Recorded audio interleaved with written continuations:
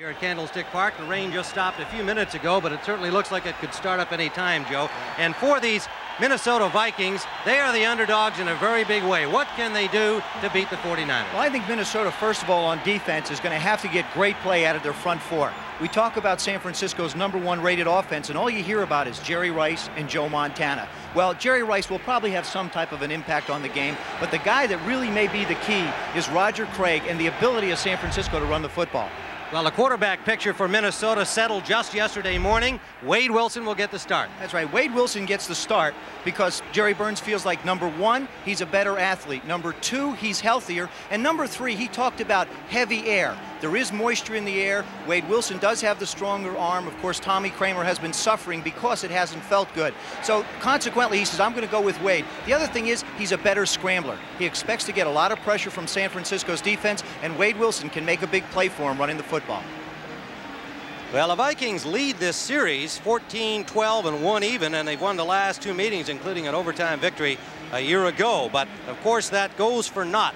This season, the 49ers, with the best record in the NFL, are deservedly heavy favorites here today, up to 11 points. Ray Wersching will kick it off as the Vikings will have the ball first. Darren Nelson, the deep man.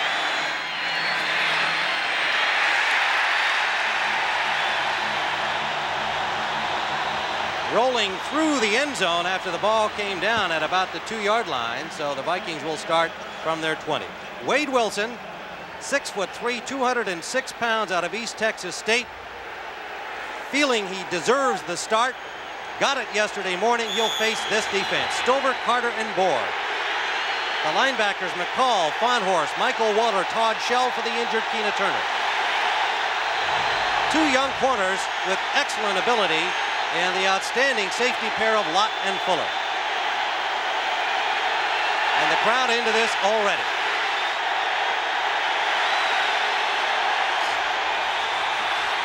Darren Nelson avoided one tackler and may have a first down. Todd Shell, the man to get him with help from Michael Walter. Joining Wilson for the Minnesota offensive team, Darren Nelson and Alfred Anderson. Carter and Lewis, the wide receivers, Steve Jordan, the tight end. Zimmerman, Huffman, Lowdermilk, Greg Cook for the injured Terry Tausch, and Tim Irwin. Tausch on injured reserve, but Cook has done a good job since coming over in a trade from Miami.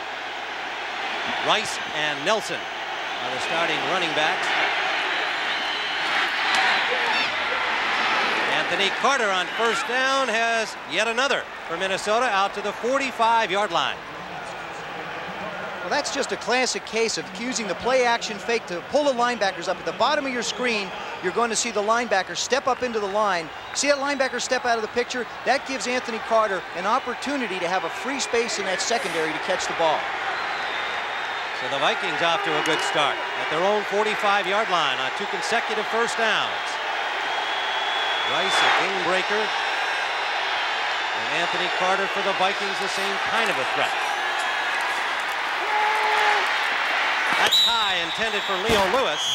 Tim McKyer had the coverage. That time Minnesota went to, you're going to see Minnesota use a lot of play action fakes, both on first and 10 and second down. What they don't want to do is wind up in this second down and 10, second down and 11 situation all afternoon.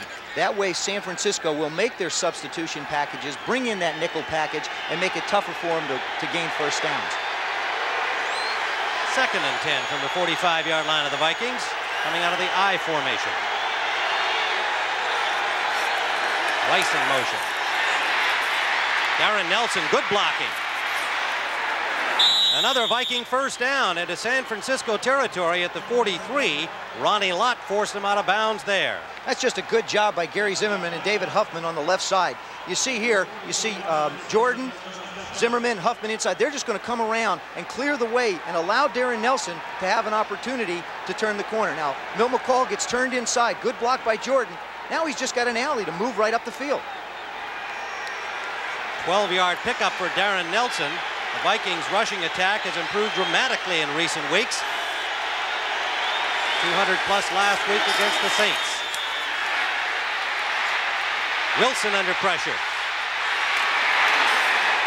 Dropped at the 38-yard line by Milt McColl, the linebacker number 53. He turned that into a gain of close to four. And that's why Jerry Burns has decided to go with Wade Wilson. There you see his numbers, 41 rushes, 263 yards, and tied Fran Tarkenton, which uh, record was set in 1961, for five rushing touchdowns. But that's the dimension that concerns the 49er defense, his ability to run. There's Coach Burns. Got to feel good about his decision to start Wilson so far. Second and six.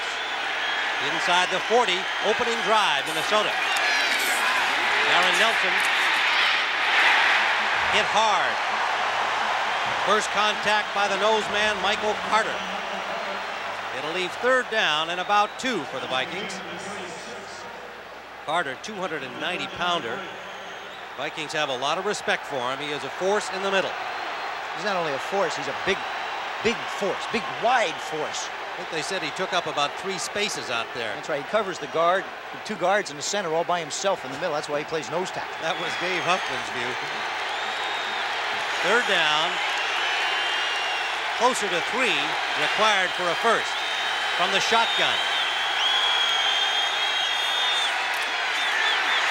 Wilson gets time, has his man, Leo Lewis, first down to the 31-yard line of San Francisco. Don Griffin, the cornerback number 29 on the tackle. Well, you see Minnesota just makes a decision. There he is, right on you. You're the defensive back. You see Griffin, he gets allowed to use his hands up on the line of scrimmage. Now, Leo Lewis does a good job. Now, they're right in that area of the football field that's been resodded. What's unique about it is the 40 yards or so, 40 feet or so that has been resodded, it's soft. You can sort of see it right in the middle, in between the numbers. It's darker than the regular field. Now, outside where the receivers are going to work, it's a little bit slicker. So that time he had a chance to plant his feet. First down, Vikings. Lewis in motion. This is Darren Nelson. Nelson slipped a little bit, trying to cut it back inside, and he's out on that slicker portion of the field Phil Theismann just referred to. Tim McKyer cut him down, about a gain of four on the play for Minnesota, mixing the pass and run well on their opening drive. You know, one of the biggest decisions that the athletes had to make before they came on the field was what kind of spikes to wear on their feet. There are different sizes. There's a three-quarter inch spike, a five-eighths inch spike, and a half inch spike. And they're different guys wear different lengths. Uh, Anthony Carter, for example, wears the shorter ones. Most of the 49ers are wearing the longer ones. On second down, a deep drop for Wilson. Gets lots of time and goes deep. Incomplete intended for Carter. Ball a little overthrown. Ronnie Lott pretty pretty good hit on him as the ball arrived on the fingertips of Carter, but I'm not sure he was going to haul that in. Ronnie Lott is the closest thing in a human being to a heat-seeking missile. Right at the top left part of your screen, there goes Carter up the field. He gets by the coverage. Now, from the left part of your screen, you're going to see Ronnie Lott come in. Carter knows he's on his way. You see him look down, and boom. I mean, that's a collision. So it's third down. A long six.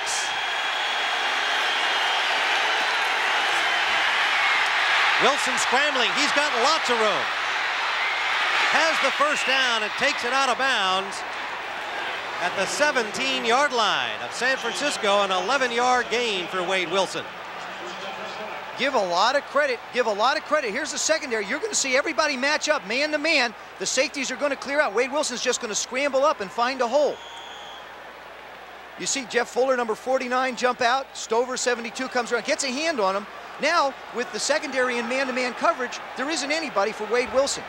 I haven't spoken to anybody, but I think that San Francisco is going to have to put a spy on Wade Wilson as this game goes on if he hurts them running the football.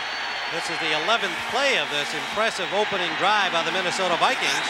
First down, short drop this time. Got his man Carter.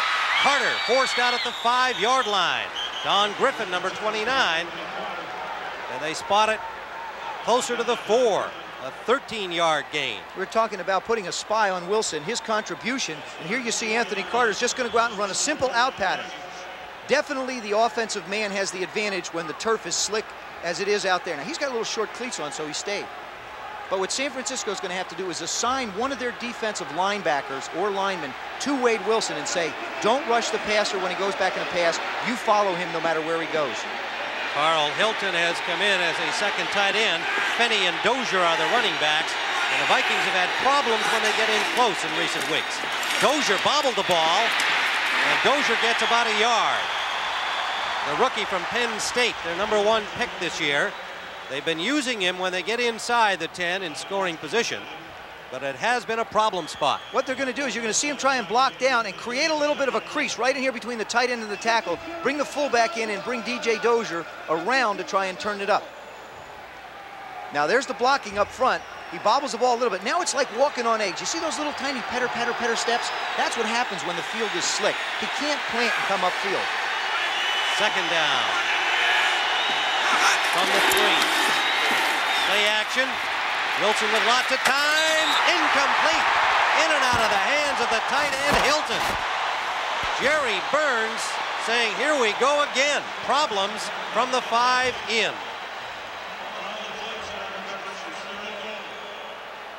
Well, here it is. It's just going to be play action. Jerry Burns into the bring the tight end around, let him work to the middle, and then let Wade Wilson buy some time. Good job of blocking up front. Now you see Hilton, he's wide open. Wilson tries to make the play. He just flat dropped it. What happens when a tight end drops it? He knows they've had trouble scoring in close, so that's got to bother a quarterback as well. Wilson made his play.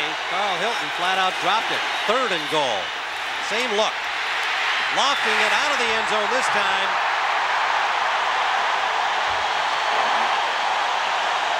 So the Vikings continue to be plagued with their scoring opportunities close to the goal line. An impressive opening series drive is halted, and they'll go for the field goal. There you see Wilson now. He's looking again for that tight end from the left side. Now, Hilton, he's getting banged around. Now, you're allowed to do it. That's a five-yard area. Fuller just does a good job of sitting on him. Chuck Nelson will attempt the field goal. The ball being spotted at the 11-yard line, a 21-yard attempt.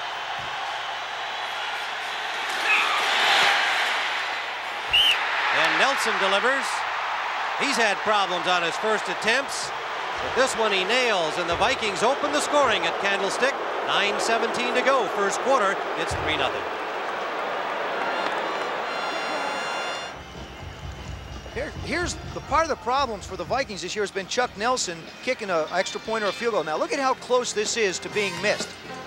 Bucky Scribner does a good job of getting the ball down, but you follow the path of the ball. It's just going to run right up there and just barely does make it through. So he didn't really, what one might call stone kill that. Well, they got three. They should have had seven. Yeah, look at that. He puts his hands up like, eh, no problem. Went right down. Hey, they don't count when they go through the post, so. But the Minnesota Vikings, heavy underdogs here in Candlestick, have opened the scoring. Came on with Joe Theismann here in San Francisco. The rain stopped about 30 minutes ago, but it looks uh, by these skies as though it could start again at any time. Nelson's kickoff. Joe Cribbs, the deep man, from the two, bobbles it.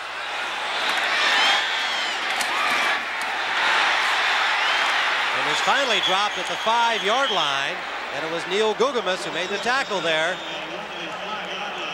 So the 49ers for a first start, Joe, are going to be starting deep in their own end. Will that change what they would normally do? Yeah, they, they, they normally try, I think with this much of the field, what's interesting before we get to that is you look at this way the, the kickoff is going. They don't want Joe Cribbs to have the entire field to run to. So they kick the ball over in a corner. That way, you see how the Vikings are just sort of hemming him in, waiting for help. They respect his return abilities a lot, so they don't want him to make a commitment. You know, if, if I had this much of the field and it was the first play from down deep, I'd make Minnesota try and defense me. Maybe run a play action pass and try and get it deep to uh, Jerry Rice. They're going to swing it out here to Craig, and he is hit immediately. So Joe Montana facing this front four of the Minnesota Vikings. Martin, the rookie Henry Thomas, Keith Millard, and Chris Doleman. Headed to the Pro Bowl. Howard, Studwell, and Solomon. And the secondary with aggressive Issiac Holt on the corner. The experience of John Harris and the Pro Bowler Joey Browner. Second and 12. Play action and Montana for Rice. Two men on him, and it's incomplete. Well, they didn't do it the first time. They did it the second time. You know, you got to put a lot of pressure on a defense. They've got 95 yards to cover. Now, what makes this play different, you'll see the catch. or the attempt of the catch by Rice going up for it. He does an excellent job playing the ball. He gets his hands on it, but John Harris manages to bat it away. That time, the 49ers lined up in an unbalanced line to try and get John Harris to line up. By unbalanced, they took one of their tackles and moved it to the opposite side of the ball. So they wanted to get Rice singled up so that Harris would have to cover more of the field.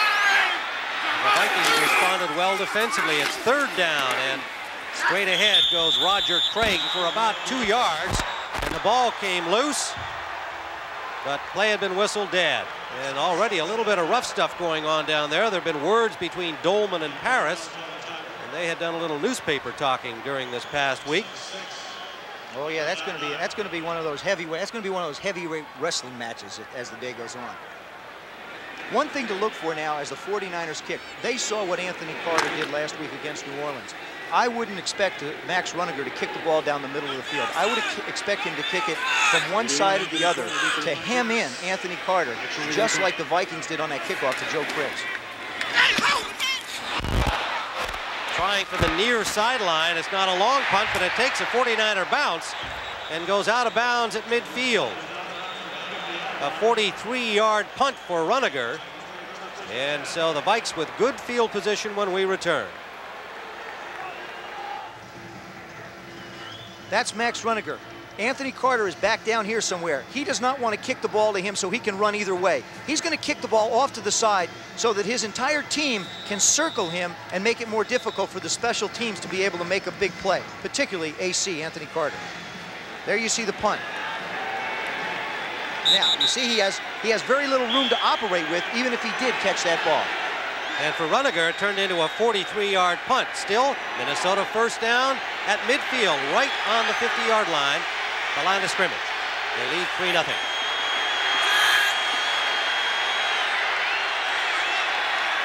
Leo Lewis in motion. No running room for Alfred Anderson.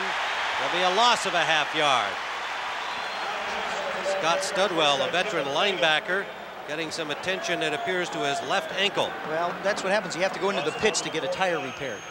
And there, there, you see, there you see what Minnesota has done running the football in their last three games. 205 yards against, uh, against Minnesota, uh, Detroit, Washington 204, and against New Orleans last week, 210 yards. Now, what's so unique about that is they have not had one of their backs gain 100 yards in any of those games. But it's definitely an improved part of their offense. They've been thought of as a passing team. Swing pass out. Allen Rice.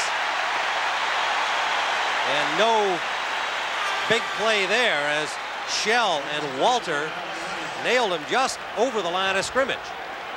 It'll be third and nine.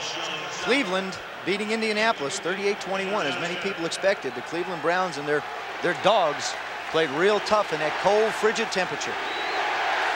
They'll get the, the winner. winner. Yeah, Houston and Denver. That game tomorrow. Along with the Bears and Redskins scheduled for Chicago tomorrow here on CBS. Third down out of the shotgun. They hand it to Allen Rice.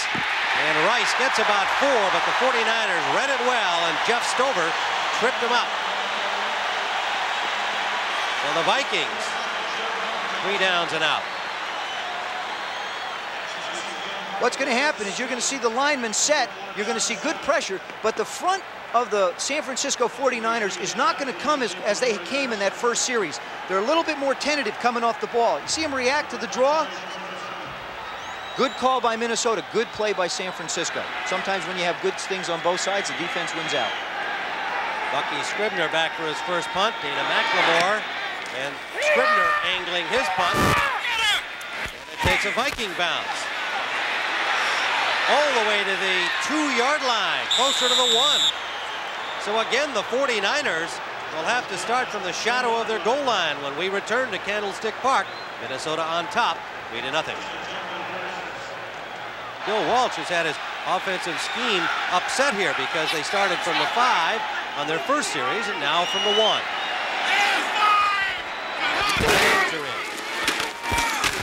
Craig, not much, got about two. The offensive lineup for the 49ers. Craig and Rathman, the running backs. Wilson starting at one of the wide receiver spots with Jerry Rice and the tight end John Frank. Across the front, Bubba Paris, Jesse Sapolu, Cross, Collie, and the rookie Harris Barton. Barton moving in for the injured Keith Fahnhorst, great veteran tackle who's been on injured reserve much of the year. Second down and seven. And Montana doesn't like something he sees. An early timeout taken by San Francisco. How about that?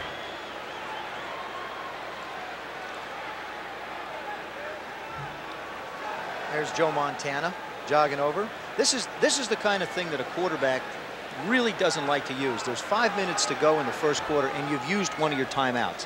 Now, it puts him in a real bind to try and be economic with the other two. When should I call one?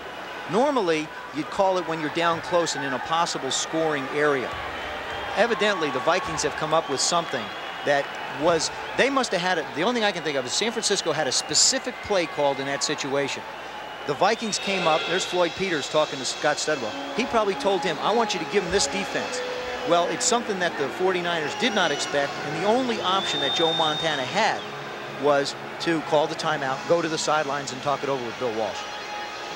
Well, it leaves them a second down and seven from the four-yard line. And this team with the best record in the NFL has not had an opportunity to get started here in this first period. 10 and 2, non-strike records. And you can see if you throw out the three losses by the Vikings replacement team, a very respectable 8 and 4. They did struggle near the end of the season, losing three of their last four games. Second and seven. Montana changing up at the line of scrimmage.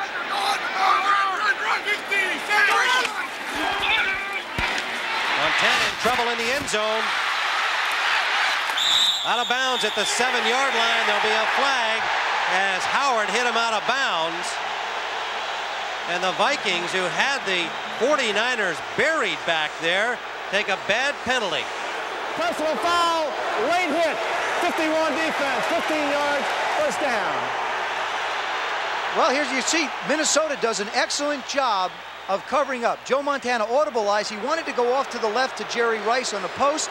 There you see John Frank leading him. Now what happens is Montana gets out of bounds. He, he eases up and gets hit.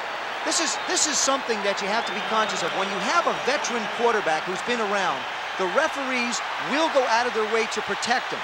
Now, people might say that was a questionable hit, but they will go out of their way to protect somebody like a Montana. Play action pass on the first down. Roger Craig to the 39. Forced out by Solomon. 18-yard gain. This is a play action pass into the line of scrimmage. You're going to see the play action. Roger Craig is going to shoot out, and the line's going to fire out, make it look like a run. Therefore, the linebackers get caught up, and you see Roger Craig is going to be out on the right side of your screen, wide open. Minnesota does not necessarily play man-to-man -man coverage. That time, they were up to try and stop the run. Got a huge penalty taken by David Howard. First down, 49ers at the 39. Roger Craig hit just over the line of scrimmage. Good defensive reaction by Chris Martin. Martin in at the left linebacking spot, replacing Howard.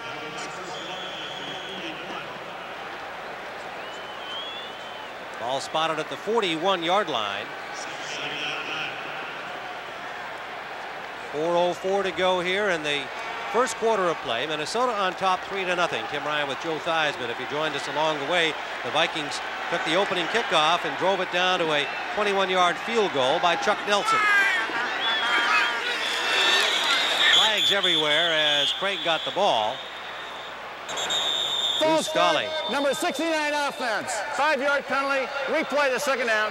Number 69, Bruce Collie. Well, the Vikings, false start. The Vikings use a lot of quick counts. Or the excuse me, the 49ers do. Joe Montana gets up to the line. He goes 15, 30, hike, and they try and move it quick. That time he just anticipates it. Now there's Collie. He's just going to fly right out of there. See, he got to the 15, and then he took a breath, and when he took the breath, there goes Collie. So he's got to, you know, Joe's going to have to get up and stand under there and not take little breaths. So his offensive linemen don't fly out on him. He can't breathe at all, huh? Be a long day for him. Montana certainly can't be happy with uh, what's uh, the way this game has started for them. He started from the five, he started from the one, and without that penalty to Howard, they wouldn't be out where they are now. Second down. Play action. And overthrows Wilson under pressure. Just fired that thing out over the sideline. Carl Lee had the coverage on Mike Wilson. It'll bring up third down. Here's the job that, that's going to have to be done. That's Chris Doleman out there in space. Here's Bubba Paris who's going to have to block him. Now, he's going to wait for him to get to him, and then there's going to be some kind of contact between these two men. There goes Bubba out to meet him. Now, Doleman's coming in. Now, there's Roger Craig to help out. San Francisco figures that they have a lot of respect for Chris Doleman. They're going to help Bubba Paris out with the backs if they can. Four wide receivers in on third and 13. And open is John Taylor. First down, 49ers.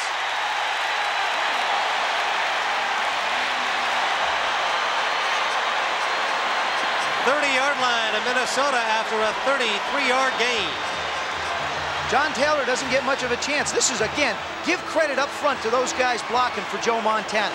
You see the pressure, number 75, Millard outside, Harry Thomas up the middle. Doleman comes around outside. Montana reads the coverage. John Taylor just did get by Joey Browner. Again, there's Big Bubba, lower left-hand part of your screen, number 77. That's what's called running the defensive guy around the cup.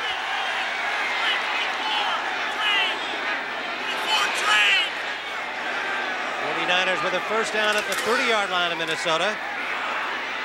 Montana drills to the sideline and incomplete. Mike Wilson, the intended receiver. Carl Lee had the coverage, and it was good coverage. Second and 10.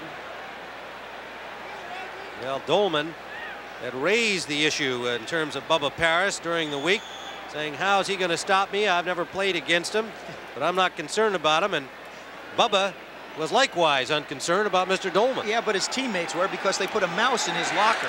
And they said, we don't want you to be afraid of anything, so here's a little mouse to keep you comfortable. he said, if you're not afraid of Chris Doleman, you're not afraid of a mouse. Montana, ball seemed to slip out of his hands there.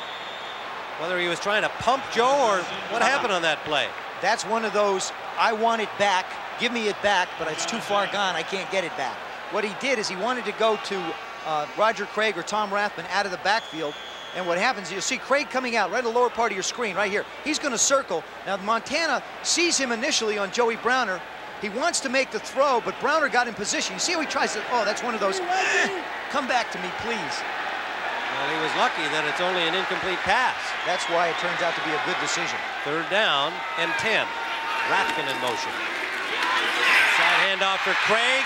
Joey Browner cuts him down, well short of the first. A pickup of about five to the 25.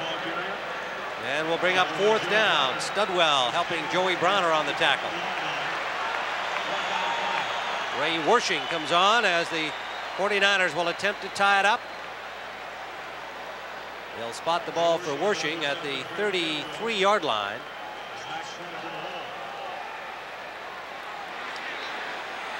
A 43-yard attempt for Ray Wersching. And you can see his numbers. He's uh, inside the 40, he's 85%. From outside the 40, he's only a 40 46% kicker. But he's got it. So the 49ers, with a somewhat sporadic drive that time, nonetheless have tied it up with 137 to go, first quarter. Tim Ryan with Joe Theismann as we have a tie football game. Time winding down first quarter. Joe Montana, a somewhat erratic beginning for the 49ers because of their bad field position on two consecutive Minnesota kickoffs. But nonetheless, 74 yards, 10 plays, using up 3.38 on the clock. And a field goal by Wersching. Kickoff comes down at about the eight. This is Darren Nelson to the 30-yard line the former Stanford star, recruited by 49er coach Bill Walsh. Gets it out to the 30 for Minnesota. Yeah, he, well, he, the winner of this game will meet the winner of that game, which comes up tomorrow here on CBS. The Redskins at Chicago, two division winners in a divisional playoff, 12 o'clock Eastern time, the NFL today. We'll start things off for us. I guess you could say fairly that the weather may be a little chilly and blustery in Chicago, wouldn't you? Or well, downright cold, really. Downright cold. First down, Vikings. Complete to Carter. Quick delivery from Wade Wilson out to the 42-yard line and a Minnesota first down. Holmoe and Fuller on the tackle. Again, Wade Wilson with that quick little play action fake into the line of scrimmage. Now what happens is as soon as Minnesota's guards block down, the linebackers step up, and that creates a lane for Anthony Carter to catch the ball. There you see Joe Montana on the phone talking to Mike Holmgren, the quarterback coach, trying to get an idea of what they see from upstairs that Minnesota is doing defensively. Wilson 6 of 10 here through this first period. Allen Rice. Good pursuit by the 49ers. Five red-shirted San Francisco players around the ball. There'll be a loss of maybe two. Shell and Walter, Charles Haley all in on it. You're going to see Charles Haley do a great job. He strings this whole play out. As the line pulls, he doesn't give Darrin Nelson a place to cut up.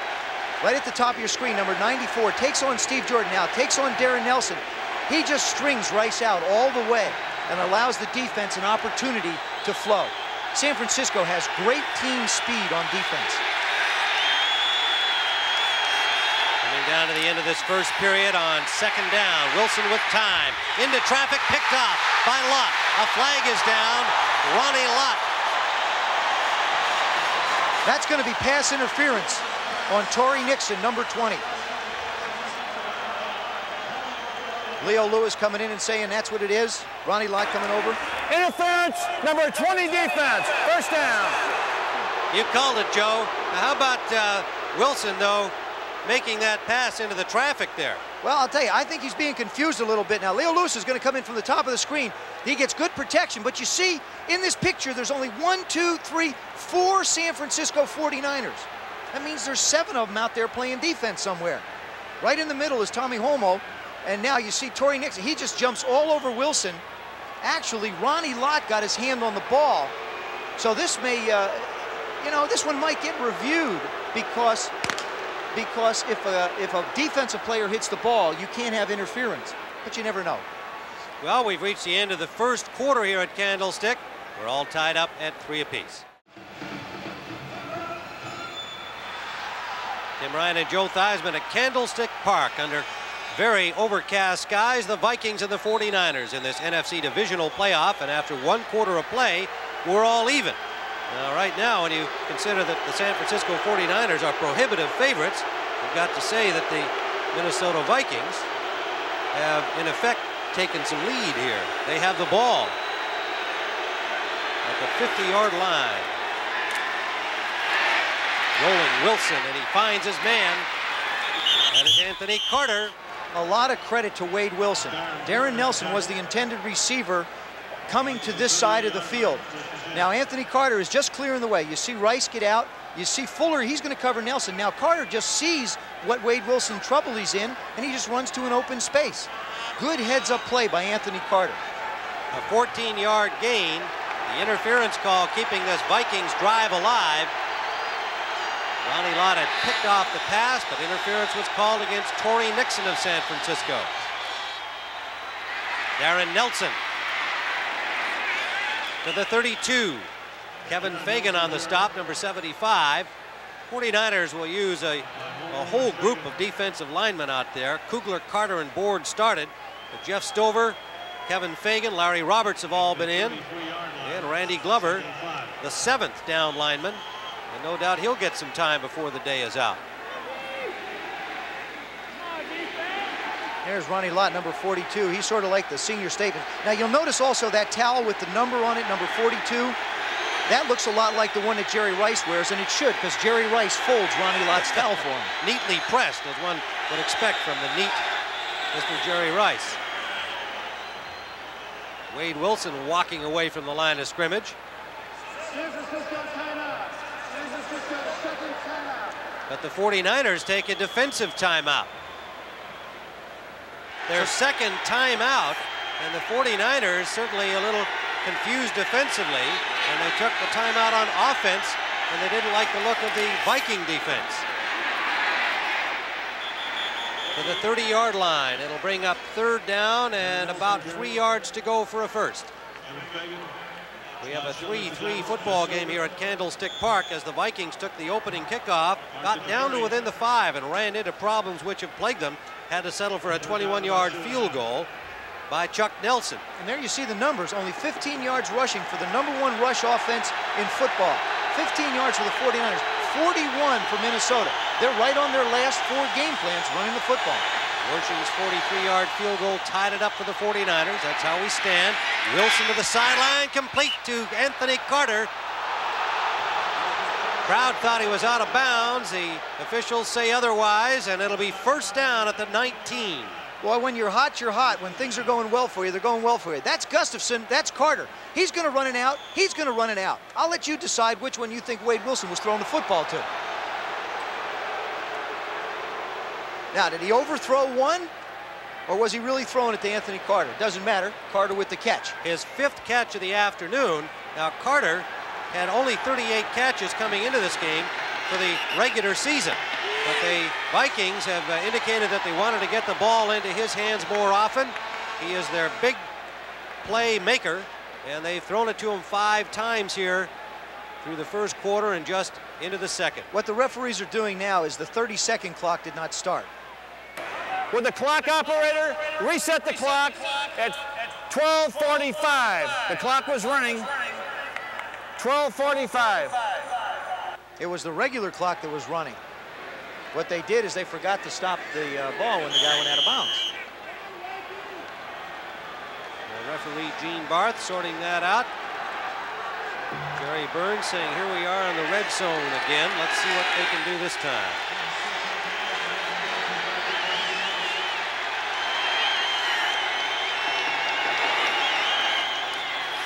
Play action, Wilson under pressure, just pops it up.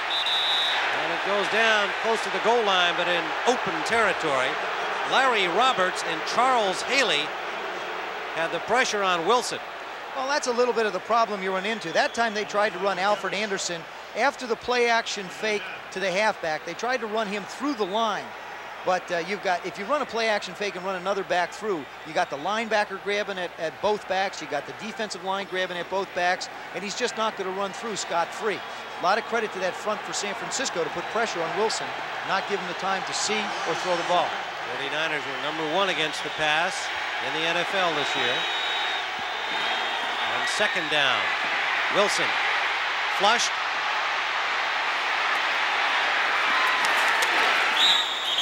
Picks up the first down to the seven-yard line. Michael Walter forced him out.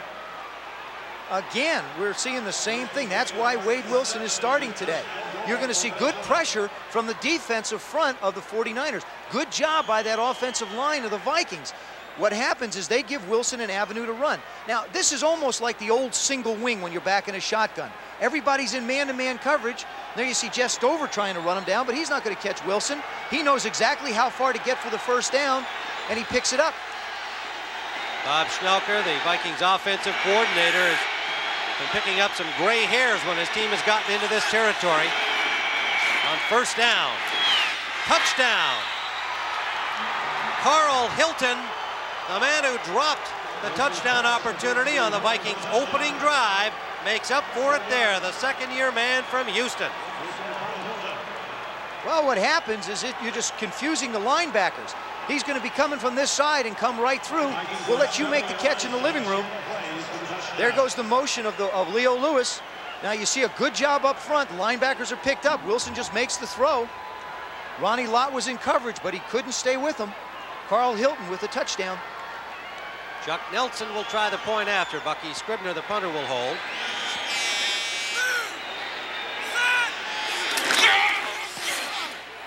And Nelson nails that right down the pipe. And the Minnesota Vikings have taken the lead. What happens here is Leo Lewis goes in motion. Steve Jordan moves out. Carl Hilton comes in, and Fahnhorst blitzes, so there's a big hole in here for him to make the catch. There goes the motion. Now, Wade Wilson, he sees the linebacker blitz. There's a big hole. Ronnie Lott can't get up because of the pick caused by the crossing of the tight ends. You wind up with six. 70 yards, 4-11 on the clock. Now, Joe, this is an interesting number. 12 minutes of possession time for Minnesota and five minutes for the 49ers. Tom Rathman returning that kickoff to about the 36-yard line. A little scramble for the ball, but the 49ers maintain possession. Well, he flat fumbled that ball. I mean, that ball was knocked back. Harry Sidney, Joe Cribbs jumped on it. You'll see Rathman right here. He's going to go in. The ball's going to pop back, and the two guys who are the return men are going to come up and jump on it. This is just some good, hard hitting. Minnesota deciding to squib kick. They don't want the hand, the ball in the hands of the big guys. Now there's the big hit. There goes the ball. And there comes Harry Sidney. He's going to cover it. A rather shaky looking 49er team to this point in the game. They trail 10 to 3. Tight end Frank in motion. Jerry Rice, a flag down in the backfield. What a catch by Rice. That's going to be, uh, that's probably going to be roughing the passer. Tripping, tripping on number 69 offense. Tripping. Well, it's against San Francisco's Bruce Collie. I stand corrected. So the fine catch by Rice goes for naught. Picking that off his shoe tops. Collie, of course, for a lot of people don't realize this, but he went to the same high school as Tommy Kramer. Robert E. Lee High School. There you're going to see right there, number 69. See him, see him get out there. Watch his right leg. There it goes. If you can't block him, you'll stick the old foot out. There it is. Little... Keith Millard. Of course, he had a big week last week against New Orleans.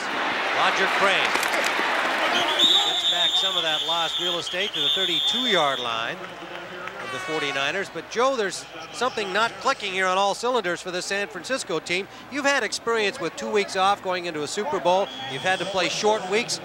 Does it help or hurt? What happened here with San Francisco? I think I think Minnesota, first of all, is in a groove. They're playing every week. They've been hit every week. They're fine. San Francisco hasn't hit somebody in 14 days.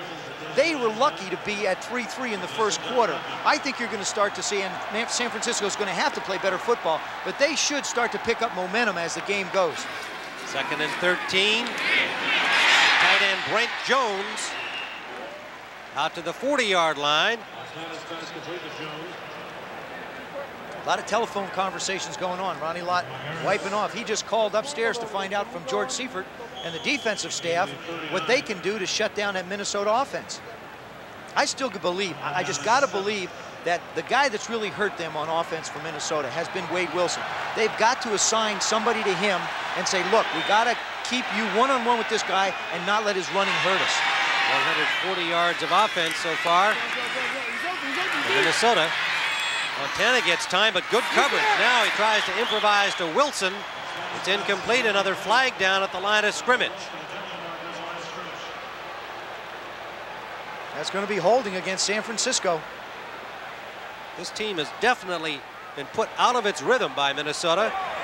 61 offense, holding, penalty refused, fourth down. Jesse Sapolu, the left guard, the second-year man from Hawaii, charged with the hold, and the 49ers will have to punt. That's one on the right guard, Bruce Collie, and one on the left guard, Jesse Sapolu.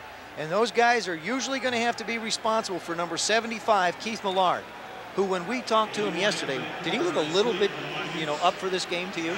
Oh, he was charged. What's more, he felt that he could be successful against both of them. He had studied their uh, work habits very well and thought that he would be the better man. Runager will punt. And no, well, fakes a pass and now kicks it. Carter signals fair catch. An alert play by Carter at the 25-yard line. Also an, an alert play by Rick Fenney going out and covering Harry Sidney. So we have a timeout on the field with the Vikings leading 10 to 3. That's Harry Sidney. Now, he's going to go in motion. Now, the reason he's doing that is because they don't want to get him blocked at the line of scrimmage so he can get down and put pressure on Anthony Carter. Rick Fenney's going to jump out at the last minute, but Runager sees him open and says, oh my goodness, I can throw the ball to him. Now you see Sidney go in motion, nobody's on him. Runager looks, he almost throws the ball because it looks like nobody's on him. Then he winds up having to kick it. Well, Sidney was headed downfield. He wasn't looking for any pass. First down, Vikings. Intended for Darrin Nelson out of the backfield, thrown out of bounds, incomplete. The linebacker, Michael Walter, and the coverage on him. That's Brent Jones, the second tight end, getting some medical attention. Brent There you go. Jones, uh, not getting a whole lot of uh, playing time until today. He's out there get I want to pass. I want to make a point about the. You see the different heights of the the half inch spike, the three quarter inch, or the five eighths inch spike, and the three quarter inch spike. This is what the players are wearing. Various styles of this on the field today. Well, it is second down and 10. So far, the turf does not appear to have been any kind of a problem. Wilson. Incomplete. Darrin Nelson, the intended receiver. It may have been that he was just throwing that ball away. Some of the fans thought so. Yeah, and there's a very, very slight mist starting to fall on the field, which could make that outside area, the unnew sodded area, a little bit slick. Again, I, I got to believe that the 49ers have been throwing a real curveball with Wade Wilson being able to scramble around and move around and make big plays. Third and 10.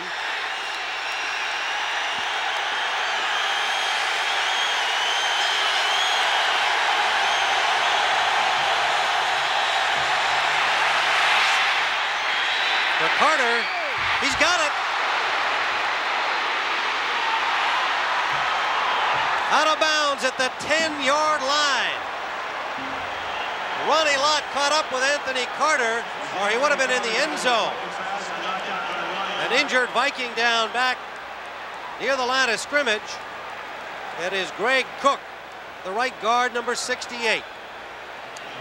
Here's Anthony Carter. He's going to go in and run a corner pattern on Griffin, number 29.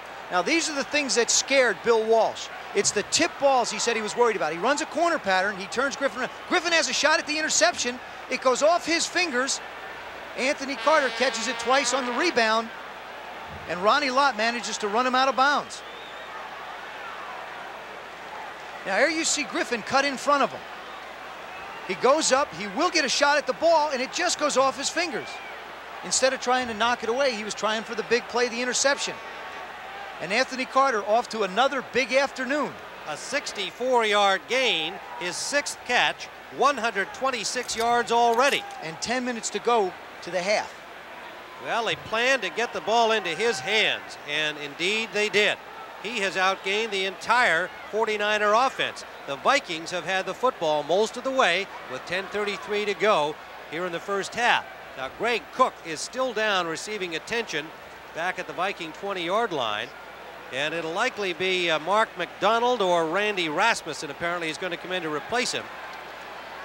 That could be a severe loss for the Vikings because Cook, of course, uh, came in from Miami to replace the injured Terry Tausch, who's on injured reserve. 10 to 3, Minnesota lead, and they are down at the 10-yard line of San Francisco. And one of the big pluses for them has been their offensive line staying in one piece. Zimmerman, Huffman, Lowdermilk, Cook, and Irwin have all stayed together. Bill Walsh has taken off his coat. He doesn't have the headsets on, but I'll tell you something. He is very intently pondering what is happening to his football team. You know, even on that play, Joe, there was a little defensive confusion. Just as the ball was snapped, Ronnie Lott was passing an instruction to the right cornerback, Griffin. It wound up that it was Griffin who had the coverage on Carter, and we saw the ball tipped.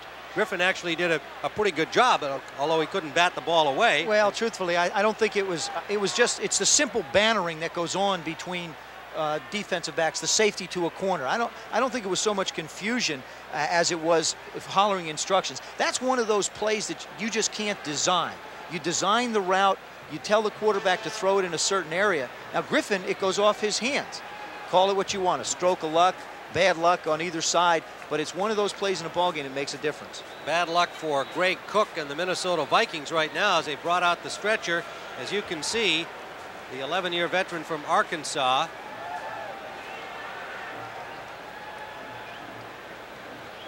Greg Cook uh, describes this offensive line of the Vikings as the regular guys, kind of lunch bucket type ethic that uh, they've created over the season. Zimmerman, Huffman, Lowdermilk, Cook, and Irwin. You know, the world of football, the world of sports has many great moments. I have been exactly where that man is lying right now. And I'll tell you, that's one of the worst feelings and worst moments that you go through is having to be placed on a stretcher and taken out of a stadium. Well, we certainly uh, Hope hope uh, right. for Greg's uh, sake that uh, it's not a serious injury. We'll get you a report as soon as possible. Now, this is Brent Jones of the 49ers, and uh, apparently the word on him is a sprained knee and is doubtful to return. That would reduce the 49ers to one tight end, John Frank. Ron Heller with an injured hamstring was placed on the inactive list today. This is how he got hurt.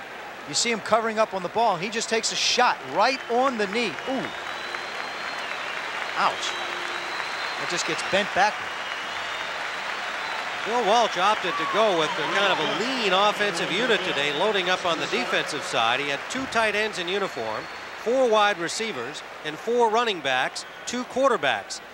So now with the Jones out of there, uh, he is reduced to just John Frank as a tight end today. And meanwhile, Greg Cook of the Vikings being wheeled off. Get you a report on him as soon as possible. Randy Rasmussen comes in to replace him, and the Vikings, when play resumes, have first and goal from the 10-yard line.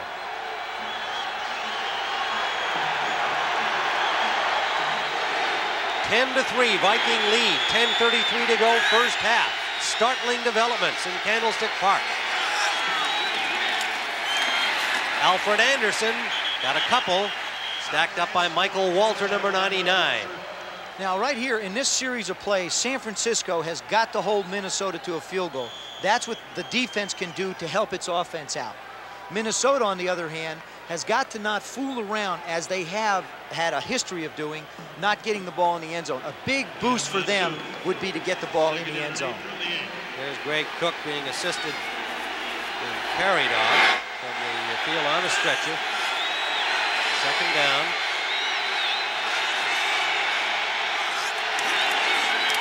Anderson again nowhere. Kevin Fagan, who just came on with three more 49er linemen on the second down, does the job there. Third and goal. Bob Snow, I'll guarantee he's saying we're going to throw it somewhere. Um, you know, if I was in this situation with, with the job that Wade Wilson has done running out of the shotgun, I'd go back in the shotgun, run my four receivers out the field, and if Wade Wilson gets a chance to scramble around, that's going to throw as much confusion into that 49er secondary as anything. You saw Hassan Jones come on, number 84 as one of the extra receivers. They run the ball inside. Darrin Nelson gets to the five-yard line. So they tried to cross him up with a run, but the 49ers didn't buy that. You know what that tells me? If I'm as I'm watching, that tells me that Minnesota has got a lot of confidence in their defense to shut down that San Francisco offense. Here you're going to see him come from the right side. They try and do a little trap blocking up inside. There's Tim Irwin on Ronnie Lott. And you see the 49er defense come in and get a lot of support. Here's the best news we've received so far today. Back spasms, the injury report on Greg Cook, not serious not serious. So Greg's the family and friends looking in can be reassured. From the 13-yard line, a 23-yard attempt by Chuck Nelson is good. And the Vikings have widened their lead. As the rain starts to fall again here in San Francisco, the Vikings are raining on the 49ers parade, 13 to 3. So Joe Montana itching to get out there and crank it up. The Vikings have had the ball much of this first half with 8.27 to go. There's Floyd Peters, the man in charge of that Minnesota defense, wearing those glasses. He was a, you know, he was a prison guard at San Quentin Prison. You don't think he's one tough cookie? I'd believe that just by looking at him. He looks like a prison guard. I mean, that, that, he was. Not that I have any familiarity at, with that. Oh, really? At the age of 19, he was a prison guard. Nelson will kick it off. Lets this one fly goes out of bounds at about the three-yard line. Harry Sidney, the deep man, a leader on that special teams unit for the 49ers. This is where that new rule comes in now. The 49ers can either have them kick over or take the ball to 35, and uh, they're going to take the ball to 35-yard line. I mean, that's that's pretty darn good, good field choice. position. Why not? Sure. Well, compared to what they've had, they started from the five, then they started from the one on the next possession. Absolutely.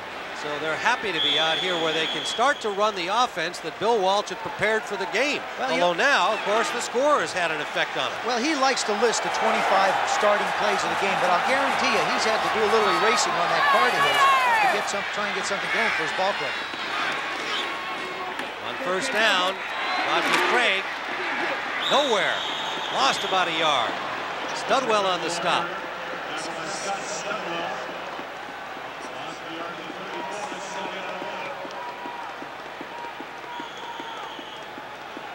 It'll be second and 12 for the Niners. The ball at their 34-yard line.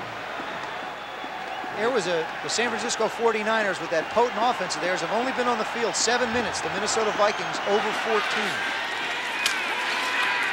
Play action. Montana has Rice down the middle, incomplete. Good reaction by Jesse Solomon, the linebacker number 54. Now uh, to get an update on that injury to Greg Cook, let's go to Irv Cross. Tim, I'm standing out here in front of the uh, Vikings locker room. You see the trainers are coming out again. Uh, Greg Cook went in. I talked to the doctor on the sideline. The preliminary investigation uh, on the sideline, the doctor told me that it looks as though Greg might have muscle spasms, back spasms. Not serious. They don't know whether or not he's coming back. They're checking on him in the training room and uh, during further examinations. Tim? Thanks, Irv. That's uh, obviously uh, great news for all football fans, certainly Greg's family and friends watching today. Third down. Sideliner for Clark, picked off. Reggie Rutland, the rookie, touchdown. No flags. Minnesota has San Francisco in deep trouble. The rookie from Georgia Tech.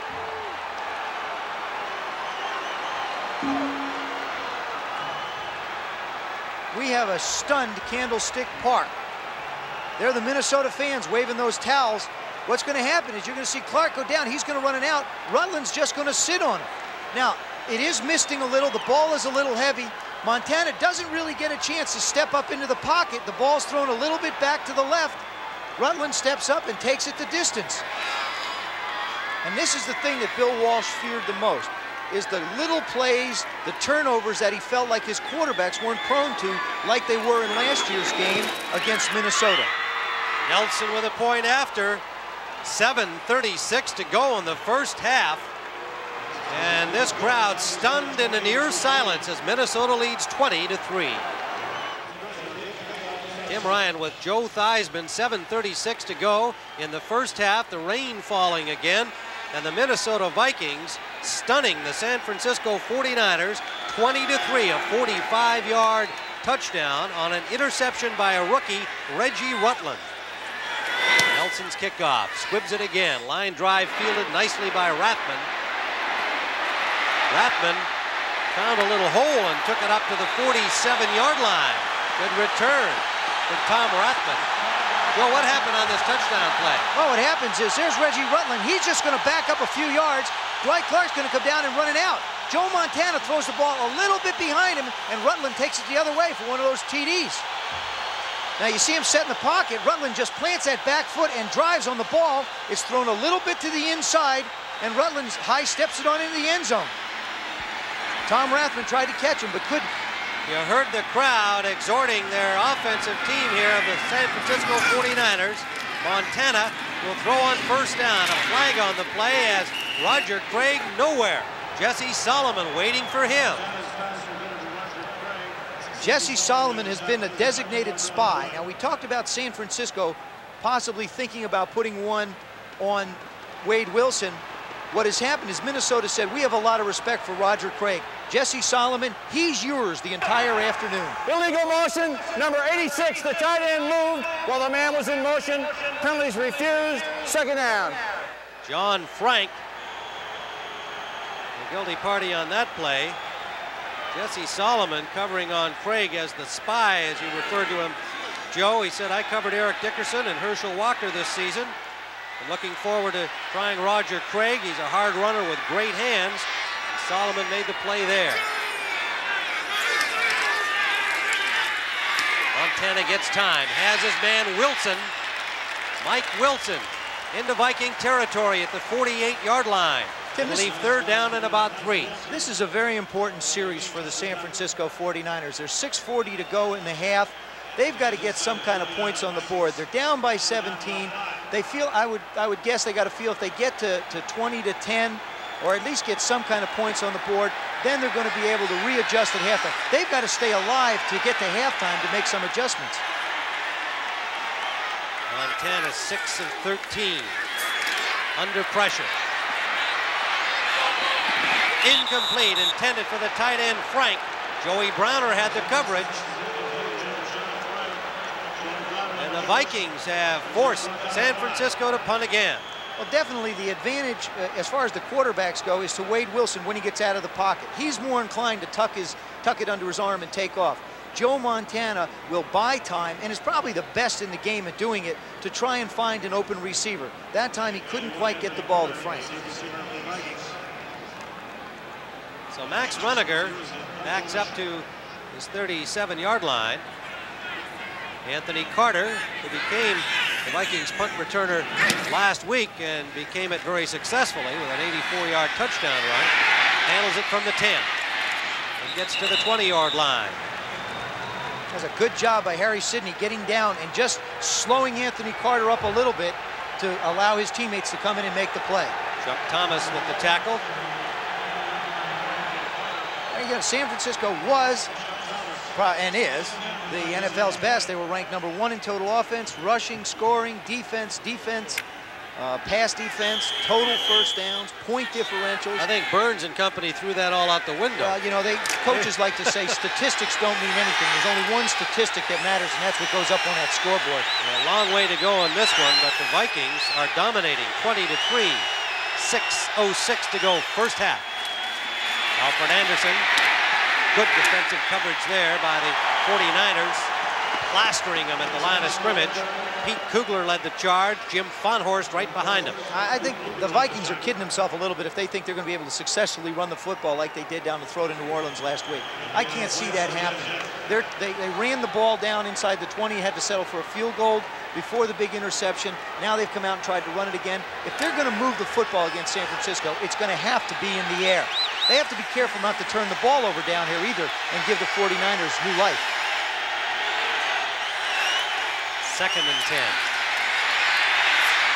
Wilson almost picked off, intended for the tight end Jordan, and it was Jeff Fuller.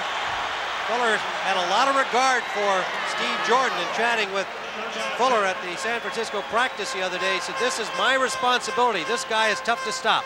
There he comes. He's going to come down, make a move, and you're going to see a play. The ball's going to be there, and so is Jeff Fuller. There goes Jordan. There's Fuller, number 49. circling now. Jordan works back. Fuller just cuts in front. Just does get that left hand in. Third down for Minnesota.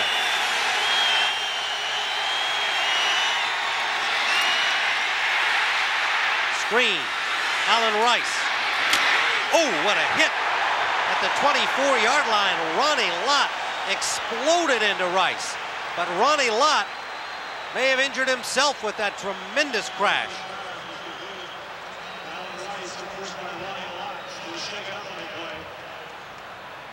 What a collision here, Joe. Ronnie Lott, I talked to him over the last couple weeks. I've had a chance to visit with him, and he said he wants to be, he'd love to be a strong safety so that he could get up and hit people just like Jeff Fuller does. Jeff Fuller said, fine, go ahead. Well, there you see, he just, he loves to just flat hit people. There he is, just, I'm sure he's just dinged a little bit.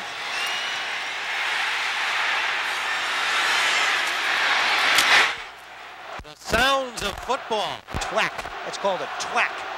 Tremendous crash, and Lott still getting attention down there. Meanwhile, it brings up a fourth down. Now, what they're asking him is they're asking him, where are, first of all, who are you? Secondly, where are you? Thirdly, how many fingers do I have? And they just say, which hand? I mean, you know, they're hoping to try and get his head cleared a little bit.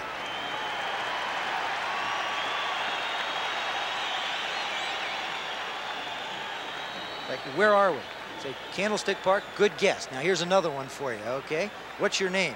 Ronnie. that happened to Dwight Clark one time in Green Bay. We're glad to see Lott on his feet. And he had the wrong ballpark. He thought he was in Candlestick. Game was in Green Bay. Nice try, Dwight. Well, we're happy to see Ronnie Lott on his feet. And hopefully he'll get back in for the 49ers. Dana McLemore back to receive the punt from Bucky Scribner. 20 to 3 Minnesota. If you've just tuned in, that is the score, folks. 11 point underdogs. I think they're going to go after this. They tried. McLemore from his 42 to the 48 yard line, tackled by Rick Fenney. A 32-yard punt, pretty good field position for the 49ers who need to make something happen here with 4.34 left in the first half. That's Todd Shell, number 90, trying to help him figure out what's going on. There you see the way the game has gone. Nelson kicks a 21-yard field goal to get the Vikings up. Wersching comes back with a 43-yarder, makes it 3-3. Wilson hits Carl Hilton with a seven-yard touchdown pass, and then Nelson follows with another field goal. And then you get the pickoff by Reggie Rutland, running for the end zone. On first down. Montana away from the rush. Driven out at the 49-yard line of Minnesota by Studwell and Browner. And there you see what the last score was, which takes us to a score now. Minnesota 20, San Francisco 3, a 45-yard return by Reggie Rutland. Rutland plays in the nickel and dime packages for the Minnesota Vikings, and he came up big there. Came up with a big dollar, not a nickel or a dime on that one. Cleveland over Indianapolis, 38 to 21 in the AFC divisional playoff earlier today. They'll meet the winner now, the Browns will, of the Houston-Denver game tomorrow. Second down, about eight. Montana gets lots of time, going deep for Rice. Incomplete. Issiac Holt had good coverage on him, and Rice accelerated there at the end, trying to somehow steal the ball. Well, that's the one thing. See, you see the distance between Rice and Holt. Rice, number 80. Now, look at him close that gap, and he just tries to go up and get one hand on the ball. Give Issiac Holt a lot of credit. Now, Joe Montana thinks he's got the ball there. He says, oh, jeez. You realize Rice has not caught a pass in this football game so far. 3.43 remaining first half. Their most important and dangerous weapon has been shut out. Sometimes that can work against you because you try and force it to them. They're going to have to settle in and just get a tempo. Third down. Sack. The aroused Vikings defense gets their first sack of the day. Chris Doleman and his personal duel with Bubba Paris comes up with a sack. Well, this is what this is the problem all day. There's Bubba Paris. There's Chris Doleman. He's going to take him up and then come inside of him. Now, Bubba's been expecting him to take the hard outside, I'm sure. Now, Doleman, see how he took that one step? Now he just blows right through Jesse Sapolu and Bubba Paris. Montana holding on to the football. That's the one thing that Bill Walsh also said. We can't have our quarterbacks hold the ball long. And they did. 49ers will have to punt. You saw Ronnie Lott, and it's questionable whether he'll return. Harder trying to find running room.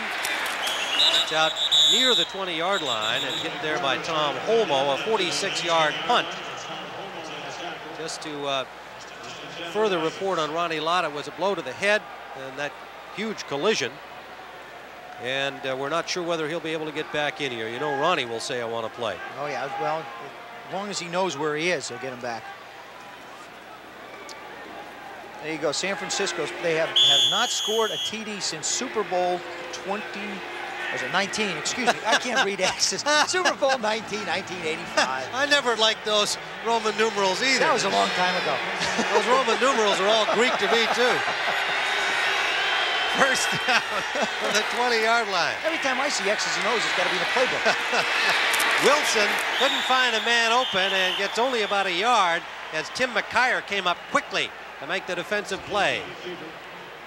Minnesota can't get too conservative right here. They, have got to continue to try and stay in their game plan and, and move the ball down the field the way they have the first half. Put it up in the air, dump it out to Darrin Nelson, try and get the ball in the hands of Anthony Carter.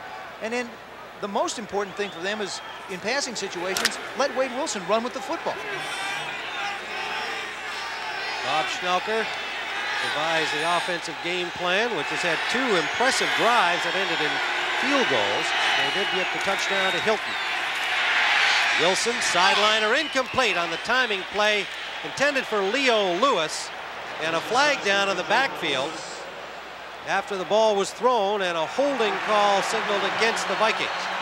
That's one of those plays where the quarterback takes seven steps, the wide receiver goes out and runs some, and then the quarterback's supposed to fire it. That time Wilson was under pressure. Holding, 63 offense. Penalty refused, third down. Kirk Lowdermilk, his first holding penalty. Here's one of those where the ball comes out. Hello, surprise, I'm here. Whoa. it was a bird, a plane, what just went by me? That was a football is what it was. It'll be third down. Well, Lowdermilk might have been expected to have a holding penalty before now against the tough Michael Carter over his nose. But that's the first of the day. It leaves them third down. Wilson got the ball off to Nelson who drops it. Minnesota will have to punt. Wilson scrambling around back there. Looked like he was just trying to find a place to escape. Suddenly saw Darrin Nelson, but it's incomplete. Well, as this time, what you're going to see, that's Fagan right there. Everybody's going to rush. They're going to bring the blitz in. That's Shell, and here comes Fuller. They're going to put some pressure on Wilson, and they want to keep him in here. Now, what's going to happen is you're going to see Fagan. He, as soon as he gets blocked, now he's going to stop and say, okay, that's sort of like a spy. I'm going to keep an eye on Wilson and not allow him to run like he did for first down. So the 49ers shut down Minnesota. Scribner will hit it from the 12-yard line. It's down at about the 48 in San Francisco. Well, well, let's see. Well, that's where they first touched it, which is what the 49ers are saying. Oh, it'll go back to the 48. Yeah, well, but it looked like one official was going to give it to him at the 40. The crowd got a little exercise. Yeah, they, they're anything that happens out there, they've got under scrutiny today. Just a 29-yard punt. San Francisco certainly can't complain about the fact that they've not had good field position. Except for those first two kickoffs. That, that's, but other than that, they've been the other side of the 35-yard line. Yes, they have. We reached the two-minute warning. Some of you looking in might be stunned to see that score. The underdog Vikings, 20 to 3, two minutes to play in the first half. Tim Ryan and Joe Theismann here. Roger Craig on first down gets three yards to the 47-yard line. Doleman and Browner on the stop. Here's a little bit of a switch. San Francisco is going to go right to the line of scrimmage with no huddle. They don't want Minnesota to make any adjustments or substitutions. Three receivers out to the left. Montana goes to the short man, Craig out of the backfield. And Roger Craig with a first down. Harris forced him out, but he made a beautiful move around Wyman Henderson, number 24, for a 15-yard gain. You know, Roger Craig's caught 63 balls this year. He's one, you know, he led the receivers as far as running backs go in the National Football League. And he just has, he's the kind of guy that they've got to get the ball to. Jerry Rice and Roger Craig for the 49ers are two people that have to get their hands on the football. Craig has made five catches here in this first half. Montana will run it. First down to the 18-yard line, and Montana in the hurry up again. See, there he is. He's signaling to everybody, get back in the same formation, get to the line of scrimmage. This is, this is a hurry-up offense when you need it. Montana incomplete to Jerry Rice.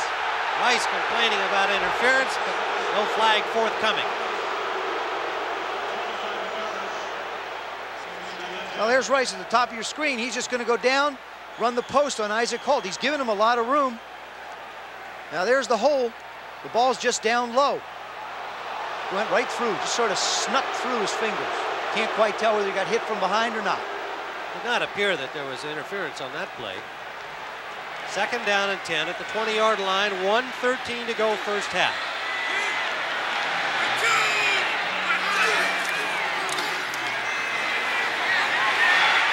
Rice to the five. First catch of the afternoon. First and goal, San Francisco. Jerry Rice going to go down, flash 80, and just run an out pattern on Issiac Holt. You see down the bottom of your screen, number 85, Mike Wilson will clear. Now he just turns Holt around. Holt had outside position, defensive coaches will say, don't let the man outside of you. And that time, Jerry Rice was able to. Looked like Holt thought he might have been going to the post. This is a situation where you may see those quick posts again from, uh, from San Francisco's wide receivers. Play action, and it is buried by Studwell. Second sack. Takes the 49ers back out to the 14. And San Francisco realizes they only have one timeout left, so they can't afford to waste it. Montana for Rathman. David Howard on the tackle at the nine-yard line. Bubba Paris blocked Chris Doleman all the way back to the 40-yard line. And San Francisco uses their last timeout. 49 seconds remaining in the first half. The 49ers almost desperately trying to get into that end zone. They trail 20 to 3.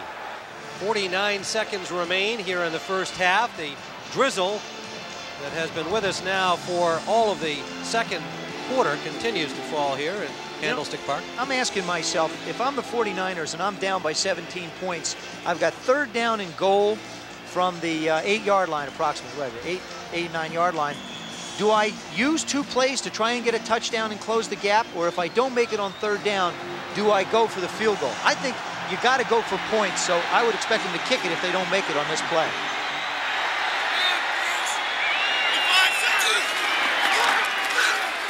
Action to Rathman. Montana throws it incomplete, intended for Craig. John Harris may have gotten a hand on that.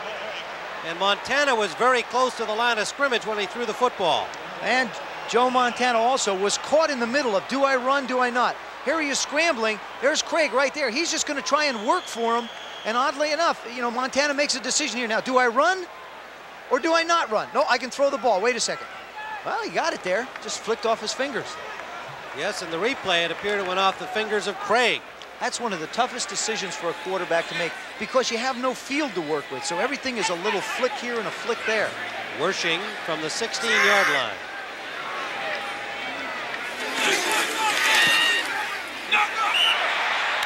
No good.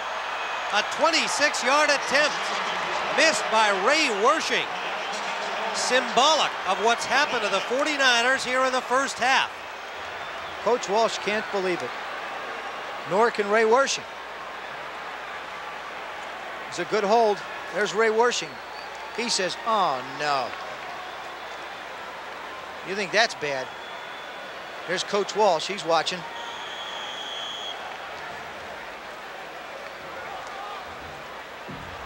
Forty seconds Boy. still to play. And now Jerry Burns with that burst of enthusiasm. Just the way he planned it. As the Vikings will wind it down here and happily take this surprising lead into the locker room. Boy, does this remind you of last week? Just a little bit. Minnesota coming in the underdogs, talking to him on the sidelines. The guy said, hey, we don't have anything to worry about. We have no pressure on us whatsoever. We've, you know, we've gone from New Orleans to Minnesota, Minnesota to Tucson, Tucson to San Francisco. We can just relax, go out on the field. All the pressure's on San Francisco. Well, they're having a lot of fun so far, but it is only halftime. Tim Ryan and Joe Theismann back here at Candlestick Park where a steady drizzle has maintained itself since about the beginning of the second quarter. Minnesota with a 20 to 3 lead, and you can see that they have dominated play in every category.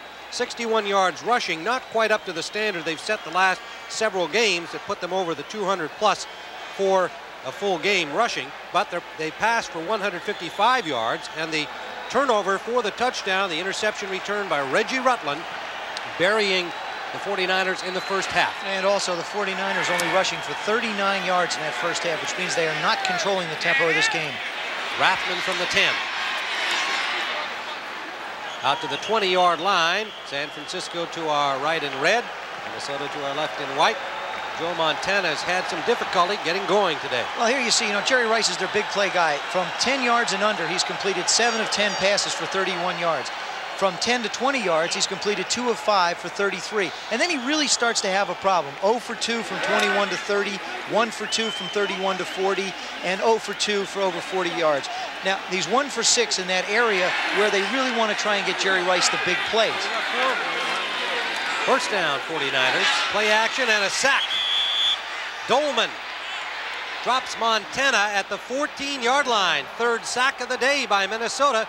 The Vikings had six last week against the Saints. Well, Chris Doleman said that, uh, you know, Keith Millard said Chris Doleman talked a lot. He's just going to flat, not buy any fakes. Boom, he's going to the backfield. That's Bubba Paris, number 77. It has to block him. There's a big gap in there. So there you see Jesse Sapolu doesn't give him the help he needs. You know, the defensive linemen of the Minnesota Vikings are told, you penetrate two yards, don't worry about the run, just get up the field and be a pass rusher. All four of these guys are pass rushers. That's the guy who tells him. You just saw there, Floyd Peters.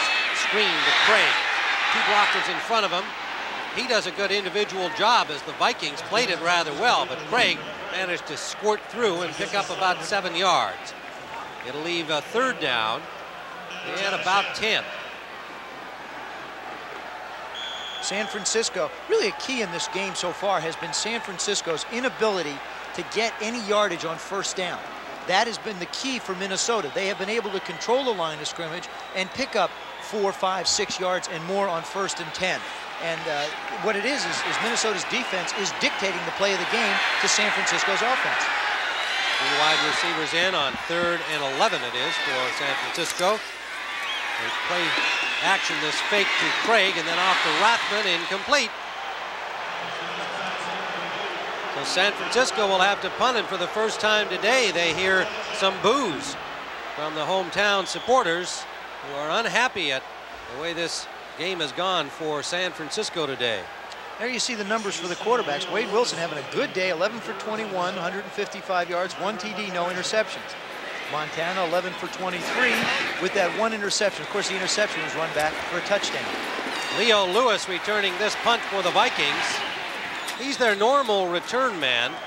Last week displaced by Anthony Carter in a nice piece of strategy by Coach Burns because, as it turned out, he returned one for 84 yards in a big play in that game. And you, and you, sort of say to yourself, okay, why does Coach Burns make a decision to go back to Leo Lewis? It's obvious to him, as it is to us, that the, the 49ers are not going to allow their return guys to try and get some place to run. So he may as well put back the guy who's handled more balls. That way you're pretty well sure he's going to catch it. Vikings have a first down at their own 38. Three receivers lined up on the right side, an unusual formation for Minnesota. Now Carl Hilton goes in motion. Picked off by Fuller. He will score. Touchdown.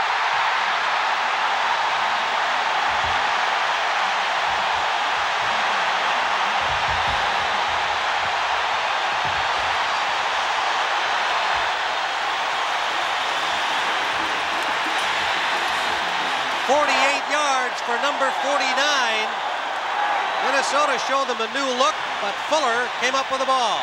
Well, here you're going to see Wade Wilson's going to go back in the pocket. Now, he's a little bit late with the throw. He's looking all the way out, way out to the right side of the screen. Carl Hilton. Now, he Jeff Fuller bobbles the ball a little bit, just cuts up in front of him and takes this one all the way home. Little giveaway, takeaway. Reggie Rutland picked it off for Minnesota. Jeff Fuller picks it off for San Francisco.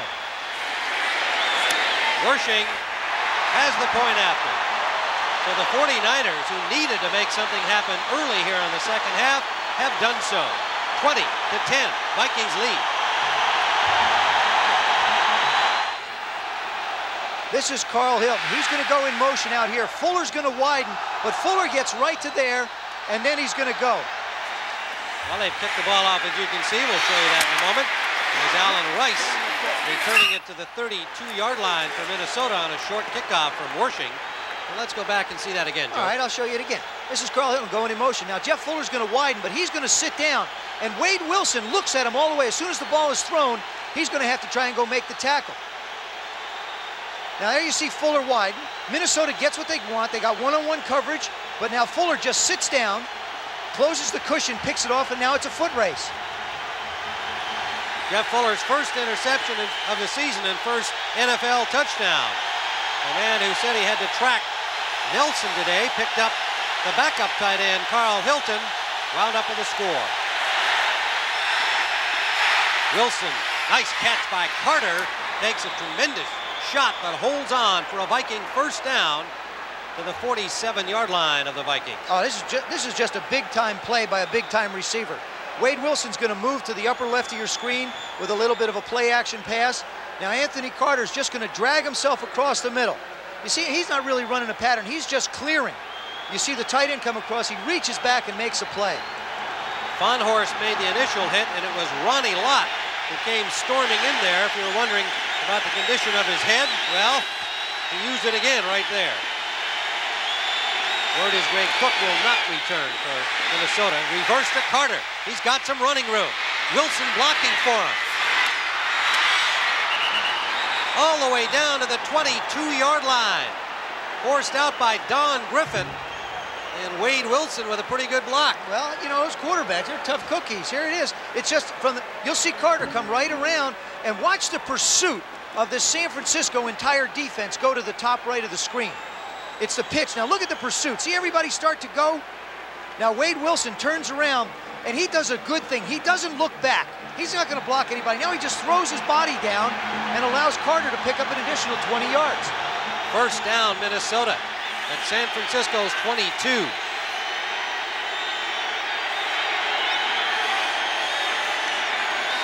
Anderson, not much. Kevin Fagan, number 75, the first-year man from Miami on the tackle. Well, the 49ers got themselves back into this football game, trailing 20 to 3 at halftime. Wersching missed a 26-yard field goal as the half came to a close, but Fuller's interception, a 48-yard return, has brought them back 20 to 10. 11.54 to go in the third quarter here at Candlestick Park. And down in this part of the field, we've talked about Minnesota's problems getting the ball in the end zone. What San Francisco has to be most concerned with is that man right there. Not necessarily his passing, but his running ability. Second and a long nine. Wilson finds an open man, Allen Rice, and Rice has a first down inside the 10. Tom Holmoe, number 46, made the tackle. Again, the credit, Wade Wilson in the shotgun. Watch the blocking up front. You're, he's going to have people going all over, and the ball's going to come right out of there for the completion. He does a good job of staying in the pocket, looks to the left, sets, sets, sets, makes the throw. Allen Rice makes the reception, picks up the first down. I really believe San Francisco felt like they could get to him that time, so they gave that receiver a little more cushion. The Vikings have their own Rice, and so far today, he's done more than Jerry of San Francisco. Allen Rice again blasting to the five-yard line. Ricky Ellison made the tackle, number 50, coming off injured reserve with an arm injury, getting back into action a couple of weeks ago. There you go. You want to play linebacker? You make the tackle. No, I don't. All right. Well, then here. Watch this. Wham, wham. Actually, be a ball carrier. Lets those people come flying in from all over. It'll be second and goal, Minnesota. This is the toughest real estate in all of California right now, right here. And it has been for them, and Wilson didn't like what he saw, so they take a timeout. Now, unlike the timeout we saw Montana take early in this ball game, this is a good one. I think it's a smart decision by him. If they get it in the end zone, his team goes up 27 to 10. If they make some kind of mistake, gives a big breathe, uh, sigh of relief for the uh, for the uh, 49er defense. So it's a it's a good decision, made it a good time. See Tommy Kramer there discussing it with Jerry Burns. See this group here? This is what we're talking about as far as platoon football. These guys are coming off. These guys are going on. And that's what the confusion is, is you just don't get the personnel that you're used to. There go the four substitutions, Stover, Haley, Roberts goes on, Clyde Glover goes on. Now Wade Wilson comes back to the huddle to a whole new group of faces. That's what's called their nickel package. The nickel package is the second down and long yardage pass rushing specialist. And now the 49ers changing again. That's Send right. four new players on the field, including two linebackers. It's like a giant chess game. You know, when you, you think that the other guy's going to do something, you do something else, except that the uh, knights and the pawns and the king and queen are a lot of big people. There's Tom Kramer. Second and goal from the five. One setback, Anderson.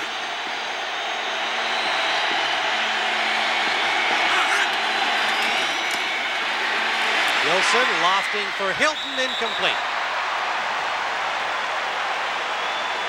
Third and goal.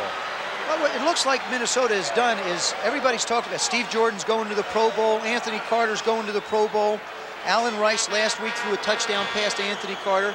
But in this game, Minnesota seems to have said, okay, we get inside that red area down around the goal line. Carl Hilton, you're our man. We're going to use the other guys as decoys, but we're going to set up plays specifically for you. That time it was good coverage by San Francisco.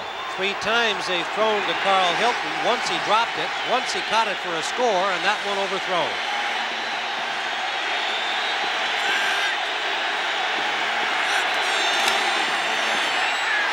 Corner, touchdown.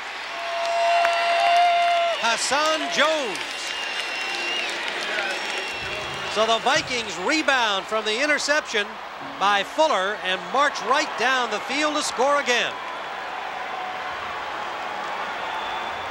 Well, you're going to see, here it is. What happens is Griffin has got his back to the ball, and as Hassan Jones goes, all right, he goes up the field. Now, Griffin never looks back. Cardinals sin by a defensive back. He's just trying to face guard him and shield him and strip the ball away. There you go. There's Bob Schnelker. He's looking, looking at Schnelker to right. Kramer. It's like the coach expects it and the players get excited. Coaches are always, you know, they stone faces. They don't ever make any emotional moves. Chuck Nelson. Now Wade Wilson got the start today. He has delivered the goods. 68 yards in seven plays. You're looking at Hassan Jones, who caught one on his back against New Orleans last week on that final play of the half. And today, he makes another fine catch. The first touchdown pass thrown over Don Griffin all season long. 27 to 10 lead. The significance of that is very, very deep indeed because the 49ers had just gotten themselves quickly back into the game to start the second half, but the Vikings rebound with one of their own. Nelson's kickoff. Deep to the end zone, Harry Sydney. Sydney fires it over. Good catch over there. John Taylor out to the 40-yard line. Uh, Taylor slipped down on that greasy turf and made a fine catch of that long lateral pass from Harry Sydney. And the one thing people have to realize is Harry Sydney was a wishbone quarterback. Now you're going to see him start up the field, make sure John Taylor's going to be behind him. He's going to throw the ball over, and Taylor's going to head on up the field. He does an excellent job of selling the run. Now he just plants, turns, makes the throw. It is a lateral. And again, who's the guy out there to make the play? Joey Browner from Minnesota. Desperate men take desperate measures. On first down, Montana, incomplete. Joe, you have to question that, that play on the kickoff. I mean, all kinds of bad things could have happened there. You're down 27 to 10. There's 9.57 remaining in the third quarter. I have to question a play like that. That's an awfully high-risk play. I'll tell you what you do. I don't agree with you on that. I think what happens is you've got it, you allow him to take a look at it. You're going to see Sydney run on up. This is a reverse angle. Watch the flow of the entire team coming down, Minnesota's team. Now, he sees what's happening. He knows whether somebody's falling out over where John Taylor is, and he makes a good decision. You got to let the athletes make decisions. Well, that's a live ball out there if he misses it. Rathman to the 48-yard line. First down, 49ers. And you know what really looms big for the 49ers was that missed field goal at the end of the half. Instead of being down 17 points at this juncture, they would only be down two touchdowns. Now it's going to take three scores for them to get back even, or, or if they three, score touchdowns, to get ahead. And Floyd Peters, who we just saw in that shot, is not inclined to let his defense want to do that. 12-yard gain for Tom Rathman. Play action again from Montana, throwing it in the middle, nearly picked off. Carl Lee had a much better shot at it than the intended receiver, Mike Wilson. This is a team very much out of rhythm today, the 49ers. Play action fake by Joe Montana, moving to the right. Now you see Wilson coming to the left part of your screen, just passing by the official. Now Montana makes a throw that he really shouldn't make. Mike Wilson was not open. It's like San Francisco expects Minnesota to be in a certain thing, but they're not cooperating in being in it. Second and 10. Loss of a yard. Montana could not get back to the line of scrimmage. A lot of credit to that secondary of the Vikings. Montana has no place to throw the ball. And again, the defensive front four felt like it's on their shoulders. If the Vikings are going to advance in the playoffs, it's going to be because of Doleman, because of Millard, because of Thomas, and because of Martin. They are accepting the challenge of going out and controlling the line of scrimmage. Millard and Thomas making the tackle on that sack. Third down. Short drop for Montana. Pumps once, now goes off to Rice. And Rice held to a six-yard gain by Carl Lee. I San think, Francisco will have to punt. I don't think so. I think you might have to go for it here. I don't think you're going to punt.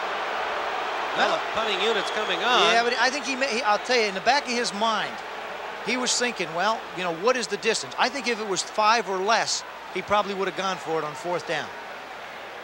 Being that it's six, he's going to try and kick him away. There are points in a game that mean a lot. This is one. It's up to San Francisco's defense to hold Minnesota if they're going to have a possible chance to try and move on and score some points and get back in this game. Leo Lewis awaiting Runager's punt, standing at the 10-yard line of Minnesota. Fair catch signal. What about the 12-yard line?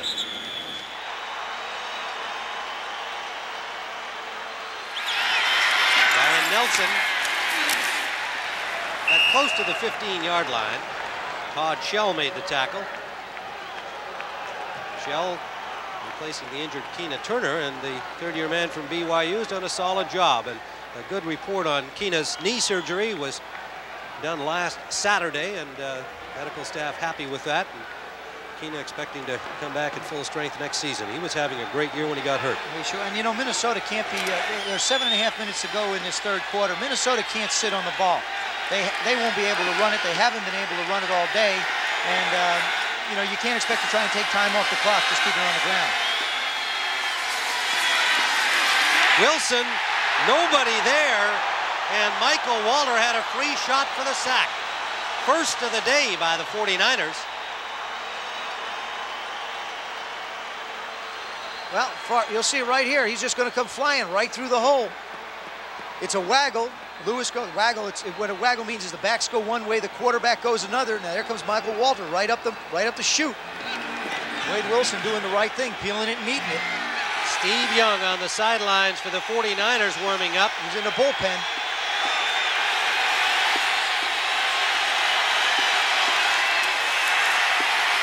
Wilson gets it off, intended for Carter can't get to the ball.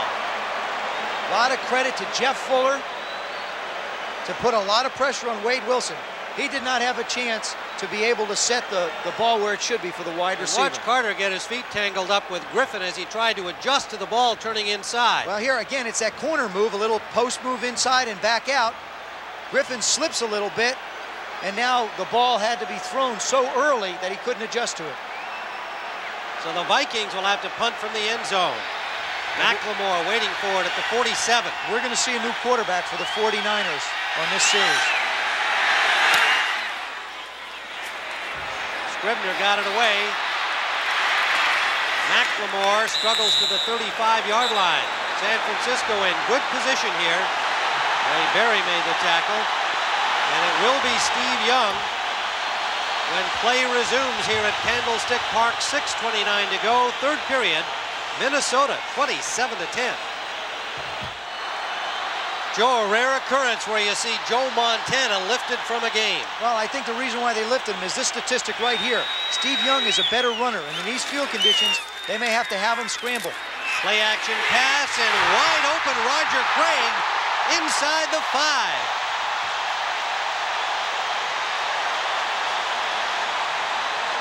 This is, again, the play-action pass. You'll see him fake into the line of scrimmage and run Roger Craig on a little corner pattern. Roger Craig's going to come out of here. You run the, the fake to uh, Rathman, and you get in behind the linebackers. That time, Roger Craig met the challenge of Jesse Solomon and beat him up the field. Now, also remember, Young has been playing the last few weeks. Montana only played the second half of that LA game. Roger Craig left the field limping and is being attended on the 49er bench. Cribbs in to replace him. Cribbs with the ball. Gets away from one tackler and another, but is driven back near the 15-yard line by Walker Lee Ashley. Doug Martin had him in his grasp, but a good effort by Cribbs to break loose. You'll see here Rathman trying to lead along and, and, move this way. Now Cribbs just tries to get outside, but that whole secondary or the defensive line of the Vikings with a late shift, you saw what happened. Doug Martin shifted real late down inside that screwed up the entire blocking of the right side of the 49er offense. That's a very frustrated quarterback right there. So it is second and goal from the 10-yard line. Play action, Young rolling. He'll run it. Touchdown. Flag on the play.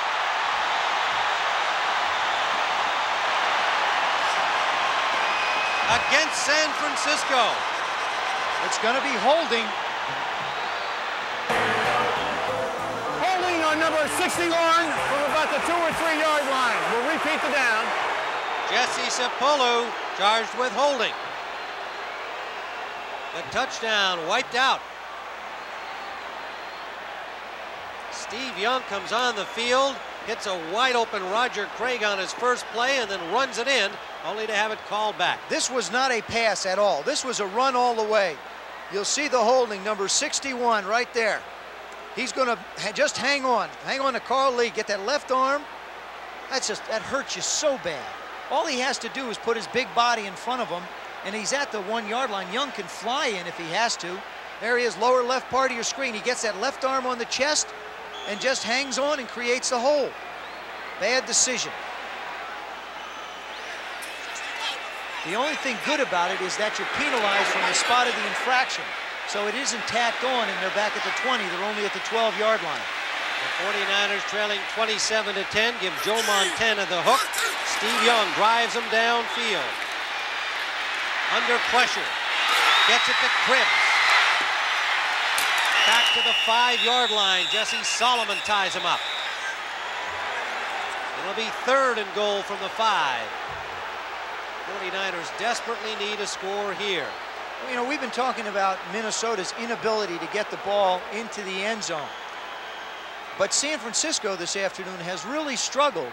We saw them at the end of the half have to try for a field goal try. They missed it. Here they are knocking on the door again. Penalty to set them back. Now they're down to the five. This is a very big play for them. Very big series.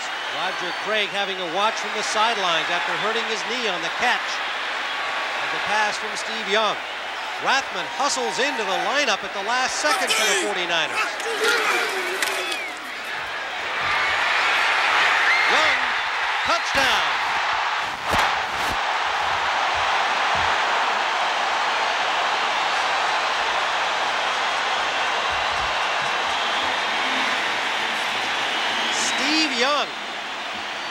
Despite some confusion on the play by the 49ers. They were a man short when it began. Well, what happens again, you're going to see the backs are going to go that way. The line's going to react. Minnesota's just firing people all over the place.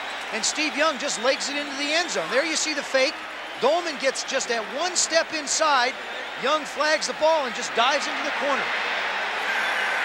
Ray Wersching with a point after. Got it. 35 yards and five plays for the 49ers. The tension clearly on the face of Walsh and Montana as Young takes it in and the 49ers are back in it. 49ers kick it off after Steve Young's touchdown and Darrin Nelson from the goal line. Nelson found some running room out to the 35-yard line of Minnesota. Met there by Dana McLemore. And Steve Young coming in to replace Joe Montana in the third quarter here. Moved the 49ers 35 yards in five plays. Actually scored twice. Took it in once, was called back for a holding penalty to Sapolu, and then he ran it in again. Joe Montana watching from the sidelines and no doubt uh, wishes that he had been able to stay in there. He left the game 12 of 26, 109 yards, but obviously Bill Walsh feeling it was time to make a change. It paid off almost immediately. Wilson pumped once. It is caught. Is it inbounds? Yes, Anthony Carter over Tim McKyer with a sensational catch. Well, we've seen Anthony Carter constantly get up in the air. Here he is. It's a play action fake. He's going to go down, run the post. You'll see him go about five yards into the post. Now, bang, get up the field. McKyer does an excellent job. He looks back and does find the ball, except Anthony Carter, with that great leaping ability, manages to go up and make the play. Well, that is sensational. And Anthony Carter has jogged off the field, dragging his left arm a little bit. I think he just got dinged a little. Eight catches, 181 yards on the day for the man they call AC. I believe they're going to review this one because you'll see his left foot comes down in bounds, but where does that right foot hit? There's the left foot. Now, is that right foot out of bounds? If the right foot landed out of bounds, that is not a legal catch. Well, he could have been forced out by McKyer, however, on the coverage. Got his foot down. Well, it's one of those things we'll debate. There it is. You'll see him come down now. His left foot will hit. There goes the left foot. Now, where does that right one that's sticking out in the air come down? Can't see it in that angle. His body's blocking that one. Well, he's also had, of course, he had already had the contact with McKyer trying to break up the play. Jack, Jack Reeder, Reeder up yeah, there is the replay Taking official. A look at it. I asked him about the pressures of being on the field or being up in the booth. He says being up in the booth, it's a lot tougher because down on the field you can confer. Up in the booth, you got to make a decision all by yourself. This is going to be the angle we'll probably use. There's the left foot coming down. After a review of instant replay, right foot the inbound. stands. A completed catch. It's a good call. You can see that right foot just barely come down inbound. Jerry Burns says, I don't even know why they bothered to look at it. he has got to be one of the, the greatest looking coaches on the sideline. Vikings ball at the 25-yard line of San Francisco. Darrin Nelson. Got a couple. Sandwiched by Kevin Fagan and Board out there on the linebacker shell. There you see the two big guns, Anthony Carter and Jerry Rice. You'll see their numbers and what they've done this afternoon. Anthony Carter having a great day, eight catches, 181 yards. It's a Viking playoff record. And Rice only two catches for 20 yards this afternoon. And it was Carter who downplayed the matchup between Rice and himself. He said, I'm just going to go play my own game. Let the media do that. Darrin Nelson. Good reaction by the 49ers. Held him to a gain of about a yard. Michael Carter, the nose man on the tackle. Two minutes remaining here in the third quarter. And the 49ers, replacing Joe Montana, struck quickly with Steve Young, scoring from five yards out to make it 27 to 17. However, the Vikings have marched right back down the field, and they're at the 22 of San Francisco now. Third down and seven.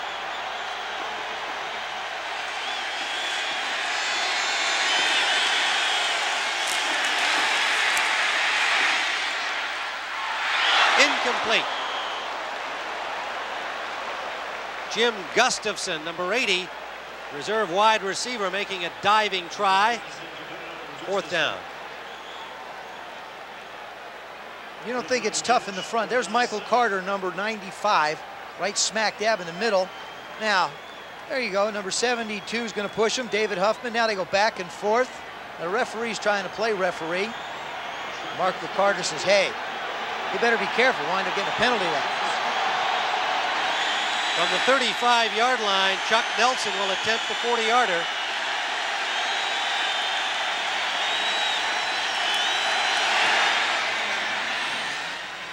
He's got it. Chuck Nelson. From 40 yards out, Chuck Nelson has widened the Viking lead, 30 to 17.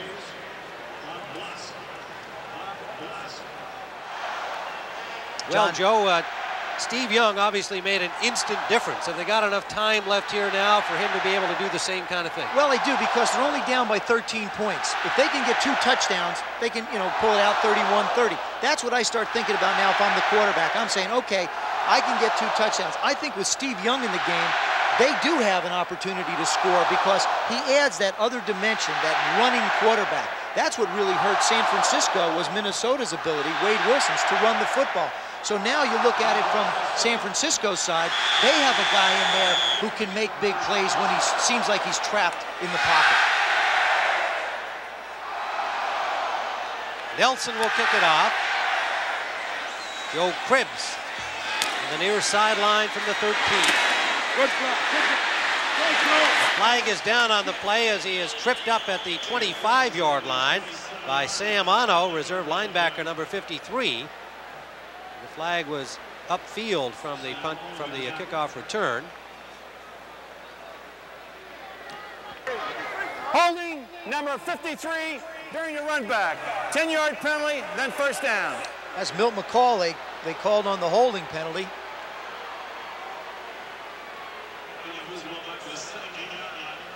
Not very much fun when you get a chance to start out around the 30 and then all of a sudden you're back at your own 16.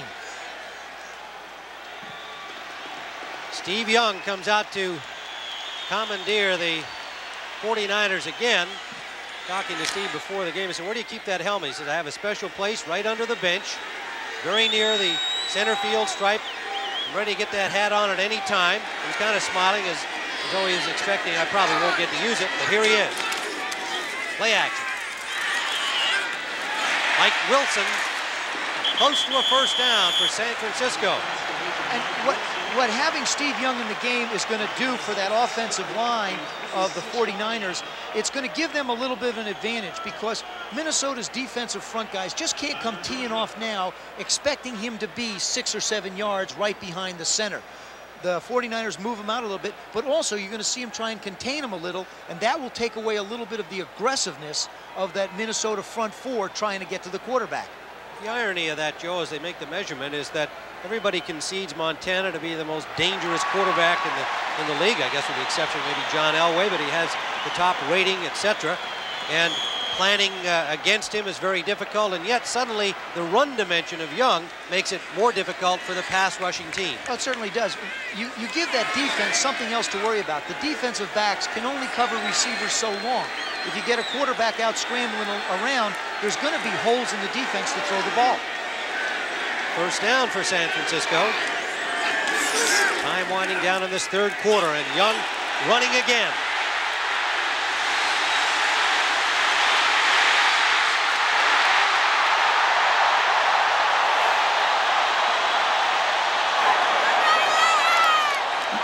To the 31-yard line of Minnesota.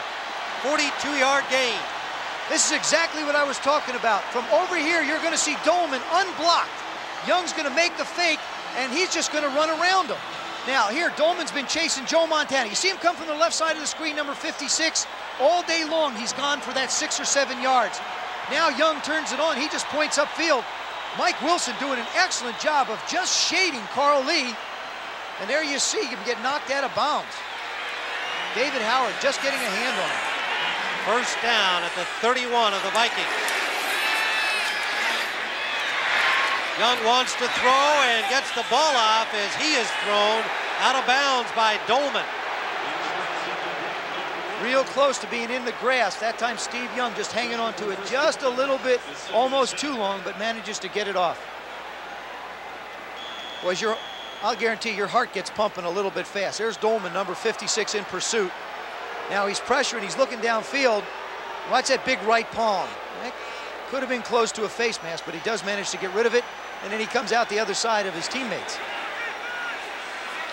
They put all that silky kind of stuff, that, that covering down there where you slide around on a day like today. So it leaves second and 10 San Francisco. One set back with Young. Takes it to Craig. To Rice out of bounds. That time he just made a decision to throw it away. So the other thing it does is you got to remember this guy just ran 42 yards. He's He- buffing. Yeah, you get a chance to catch your breath. Two things are, are, are working against you physically. Number one, you ran 42 yards. Secondly, by him going in a, in a game like this, his adrenaline has got to be so high and pumping so hard, he's got to be careful that it, it, it doesn't overtake him and make him fatigued. He's already outrushed the rest of the San Francisco running backs. Third and 10. That's good protection. Coverage is good downfield. Short man Frank cannot hold on. It'll be fourth down.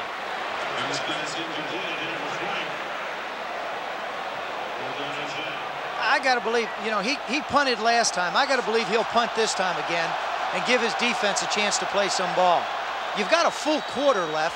You're only down by 14 points.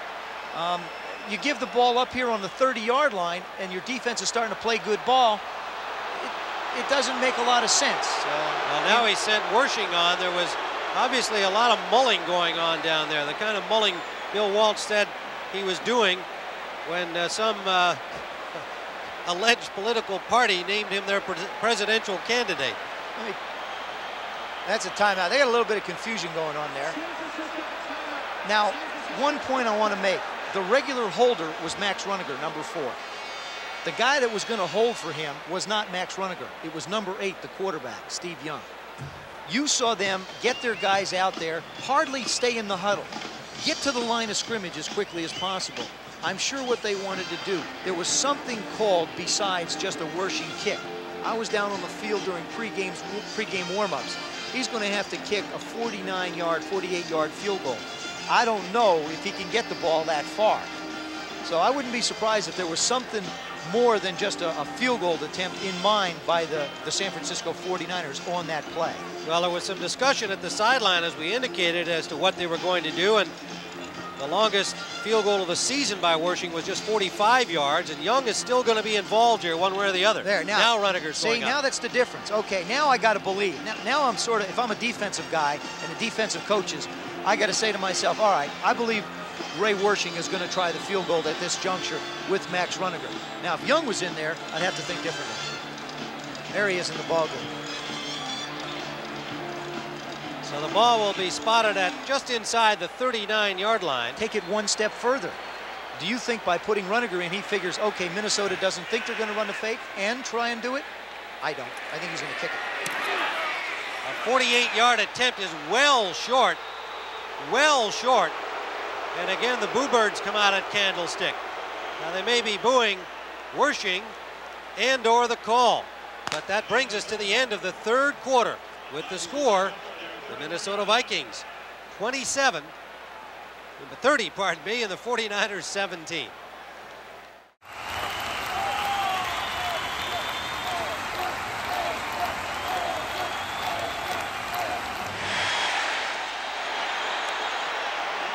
On first down, Alfred Anderson dropped for a loss.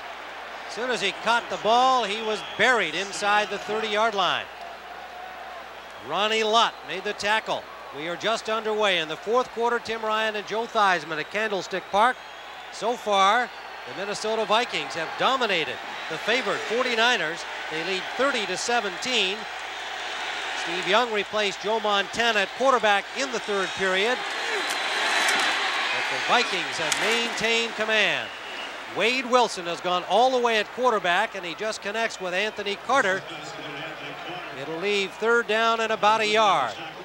Well, Anthony Carter's been the man that the Vikings have wanted to go to. There you see the, here's the situation. If you're Don Griffin, what do you do with him? You take a little bit inside away, but then you give him that outside break.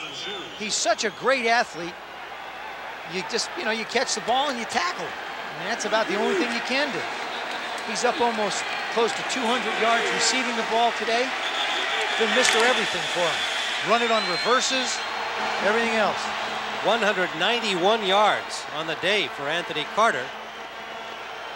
And they're re-spotting the ball, which is going to shorten that third down distance they need to get a first down. After a review of instant replay, we missed the forward progress by a yard. It was replaced. Uh, you know, uh, come on. well, okay, I guess they got the machine. They want to use it. what can I say? Well, it's third and about a half a yard now. Now, now Anthony Carter comes out of the game. See, that, that yard makes a big difference for a coach. Wait a second. No, now they send him back in. Now they call timeout. Now, well, they got a lot of guys running around back there. See, there's a case. Let me show you. There's a case where technology has caused confusion for a team. Clock to 30 seconds. There was an interruption of play. That's right. See, now that's now Gene Barth has done the right thing. Uh, once they stop the play, they've got to reset that clock and give them a 30-second opportunity to be able to make the call and their substitutions. Now here comes San Francisco with their short yardage group. Actually not short yardage, they had the short yardage in the game. Now they've got their regular third down unit in.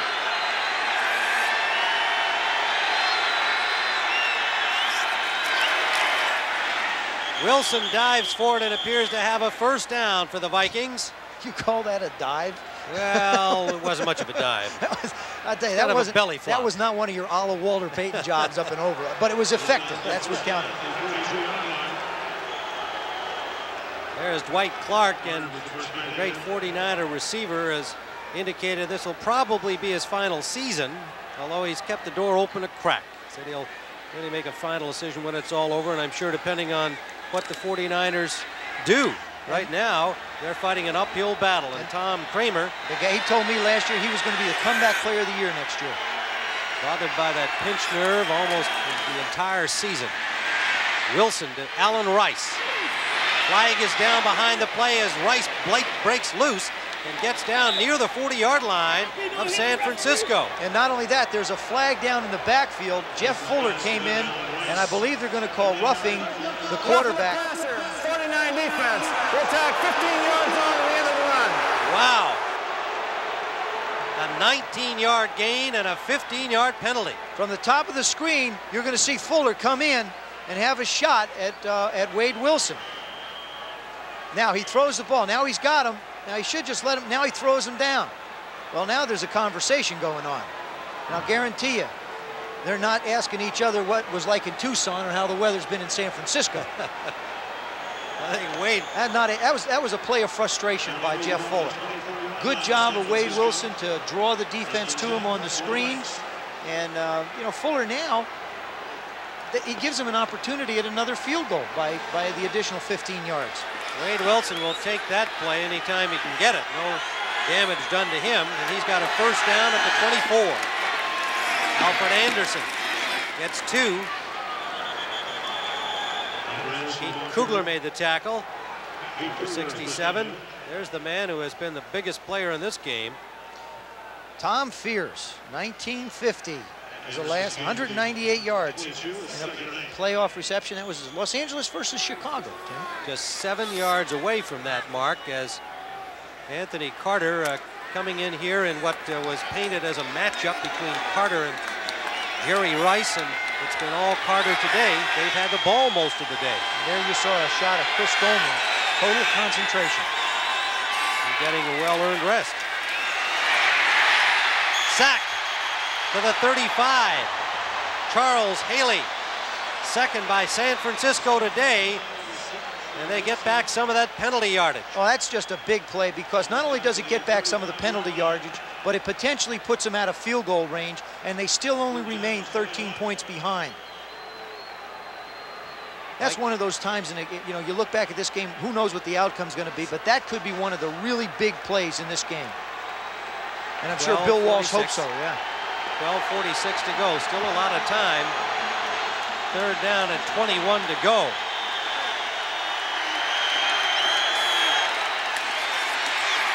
Blitzing Wilson completes it, but well short of the first down yardage. Darrin Nelson got to the 30-yard line.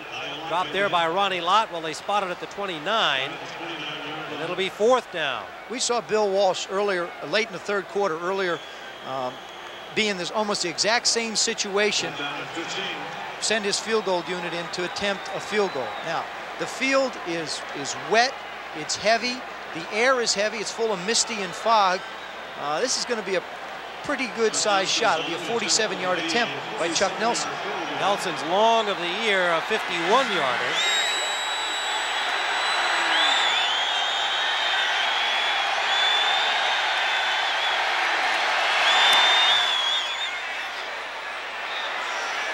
He got it.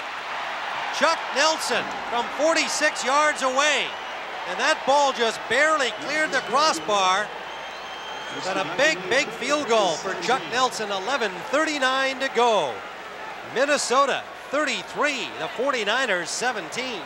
11.39 to play in the fourth quarter. The Vikings 33 to 17, four Chuck Nelson field goals, including one from 46 yards away. Here's a young guy that has struggled much of this season, Joe. Comes up big in the well, big not, game. Not only struggled, he was one for eight from outside of 40 yards going into this game. Now you look at him, he comes out, he's kicked four in the ball game. Two of them have been over 40 yards, and you don't think he's excited about it? Look at that. Yeah! He must be a good mutter. He likes Well, this kind of damp condition and heavy air out here at Candlestick on a drizzly day. Now he kicks a line drive kickoff that comes down at the 11, bobbled there. Joe Cribbs recovers and gets out to the 18, a flag down. And it may be against San Francisco. You know, last week, about everything that could go right went right for Minnesota against New Orleans. Today, Holding 52 receiving team during the run back. 10 yard penalty and then a first down. Today it looks like they are repeating that kind of an afternoon. There's Cooper, number 52, a linebacker. You see him right in the middle of the screen. He's just going to hang on. You just can't do it. There he is, number 53. You just can't hold on to people. That's a little obvious. I mean, when you when you pull the jersey off, that becomes a little obvious. Well, they've had a couple like that, and they have had seven overall to just one by the Vikings. Play action for Steve Young in difficulty, scrambles out of there. And picks up the first down at the 21-yard line where Keith Millard came a long way back to make the tackle. Minnesota has got to score on this drive and this possession to get back into, I mean, excuse me, San Francisco is going to have to score on this drive in this possession if they're going to be able to save some kind of hope to win this football game. Young hurt himself on that play and is hobbling a little bit. Looked over to the sideline after that last play. You can see him unable to support all of his weight apparently on his left foot.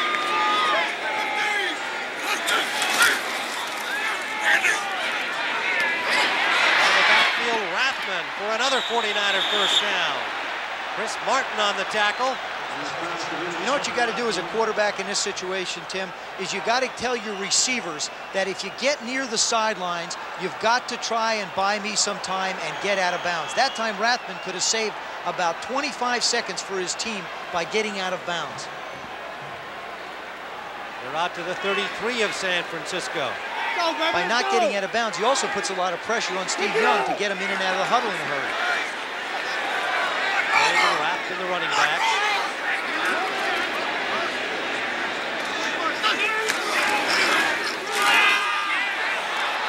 Vikings did not buy it on a loose ball. Roger Craig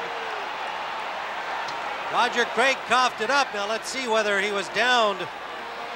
No, I'll tell you what, Steve Young gave him the ball. I don't think Roger Craig expected him to have the football.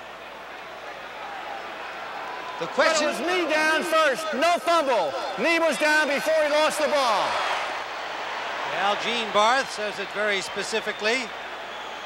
Vikings don't agree naturally. There you see right there, there's going to be the ball. Now, does his knee go down? Young makes the handoff.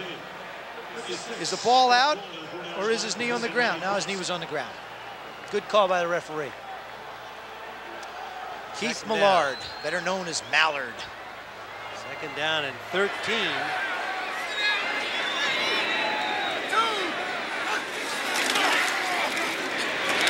Good catch by Wilson as Young delivered that right on the money for another first down.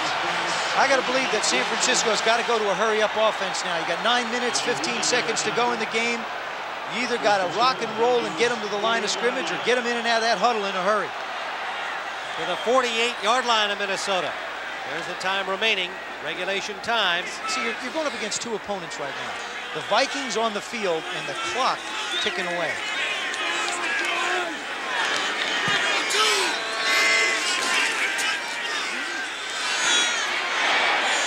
Young buys some time, now runs out of it, and he is dropped. Doleman got him after he picked up about two or three yards, he wouldn't have been able to throw the ball from there anyway. It was already over the line of scrimmage.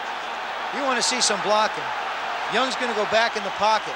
Now, Keith Millard, number 75, you see him come running. Now, just peeling out is Harris Barton. Just flat cuts him in half. But that Doleman is just absolutely relentless in his pursuit of the quarterback. Under Bill Walsh, the 49ers 7 and 3 in playoff activity, unbeaten in their last five playoff games at home. In deep difficulty now. Young lets it all hang out. That's over everybody. Rice, intended receiver. And Rice complaining he was interfered with. No call forthcoming. Well, I think when the ball's over that far, you're not going to be able to do it. The 49ers have made an offensive change at center. Fred Quinlan is in at offensive center instead of uh, Randy Cross. Excuse me, Fred Quillan. I stand corrected. Anyway, they've got a new center in the game. Well, the veteran suffered a concussion earlier in the season. They moved Cross into center and left him there. Quillan number 56. Robinson and Mays have come in defensively for the Vikings. Young for John Taylor, intercepted. Carl Lee picks it off for the Vikings at the 12-yard line of Minnesota. That is the first interception suffered by Steve Young this entire season. You're going to see John Taylor come down from the top of your screen. He's just going to break from left to right. He is wide open. This ball is just thrown very high and very poorly. Might have been just that second little stutter move that may have thrown Steve Young off. We don't know. But we do know that Carl Lee wound up with the football. We also know that that has sent a large portion of the spectators here toward the exits. What a stunning finish this will be for the San Francisco 49ers. Should they lose this game, and it looks now like they will after a brilliant season.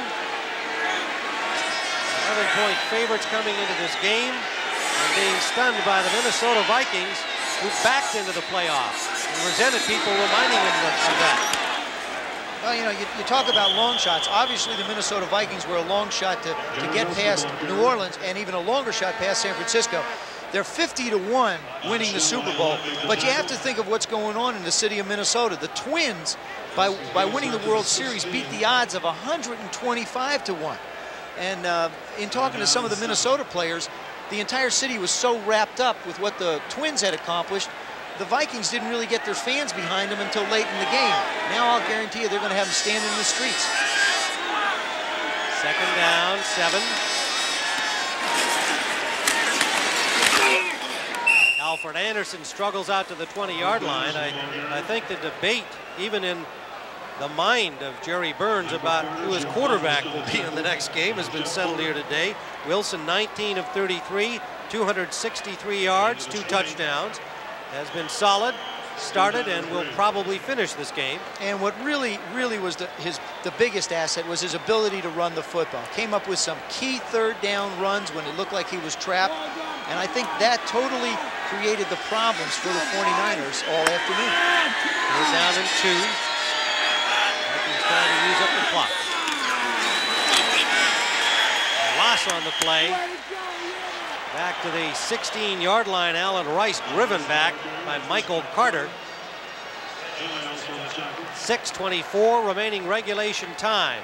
The Minnesota Vikings jumped off to a 20-3 lead at halftime. Chuck Nelson has kicked four field goals. Wade Wilson, as we commented, has had an outstanding game.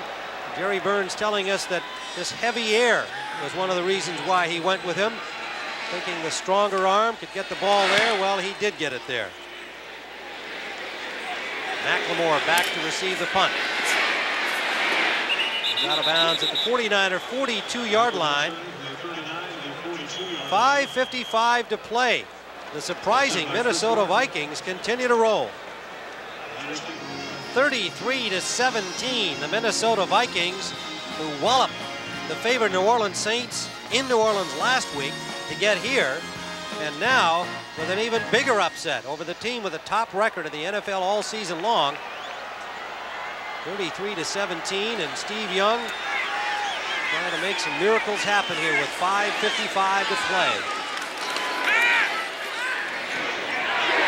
Wilson gets about eight San inside the Minnesota side of the 50-yard line. San Francisco will go with their hurry-up offense now. No huddles, no time. 5.40 left in the ballgame.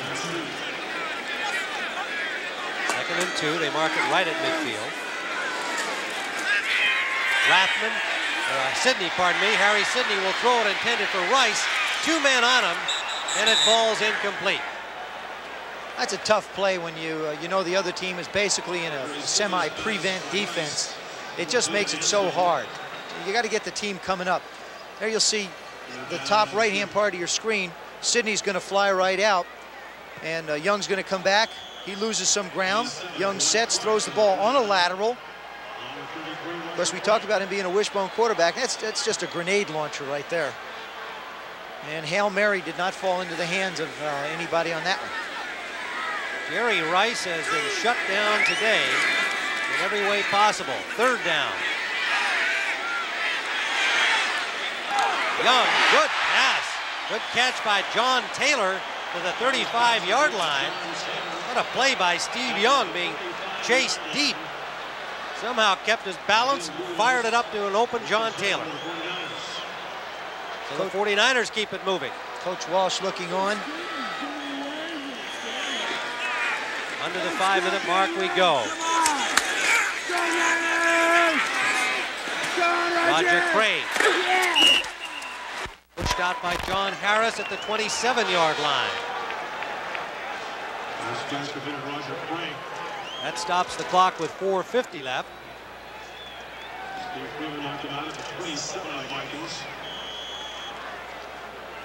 You know, this this is, this was a season of a strike, and there were three football games of which replacement players played in. And if uh, the Vikings win today, those that played on the Minnesota replacement team will get a check for $9,000, at least. That's and, just to get to the next week's final. Right, and then, of course, the, the 49er replacement players will get zipped if they lose. And they won all three games. The Vikings lost all three. Young takes off again and has the first down. Jesse Solomon there to stop him, along with Gerald Robinson, number 95, and it's a first down. You know, San Francisco. This is a very frustrating situation for a quarterback. You're out there really, you're trying to make something unbelievable happen, and, and there's so so much constant pressure. Steve Young really handling himself, doing the right things, making good decisions, but it uh, doesn't seem like it's going to be enough to help his ball club. Roger Craig with that catch, good for about three yards to the 20. Bill Walsh must be wondering what happened here today against a team that he knew was dangerous and knew was capable, but certainly was confident that he could beat. Intended for Mike Wilson, incomplete. You know, Minnesota's a team, you see what they're doing to the 49ers today. They've lost, they lost three of their last four football games and in the regular season. They've come out against New Orleans last week, and against San Francisco today like an entirely different ball club. And I think the big difference has been their defense has played very consistently for them. In three of those losses, their offense has had an inability to help out and, and take advantage of turnovers. Now, what's happened is their offense has caught up with the play of the defense, and you have a truly almost dominant type of a team. You've got a dangerous team for the winner of the Washington-Chicago game, that's for sure. Young gets some time, and a flag is down. He tried to hit Frank with the ball off his fingertips, off the hands of a defender as well, incomplete. Flag on the play. And the other point, you know, if Minnesota hangs on today and wins like it looks like they will, they will have beaten the two teams in the National Football League with, with the best, the best records. records. Yep.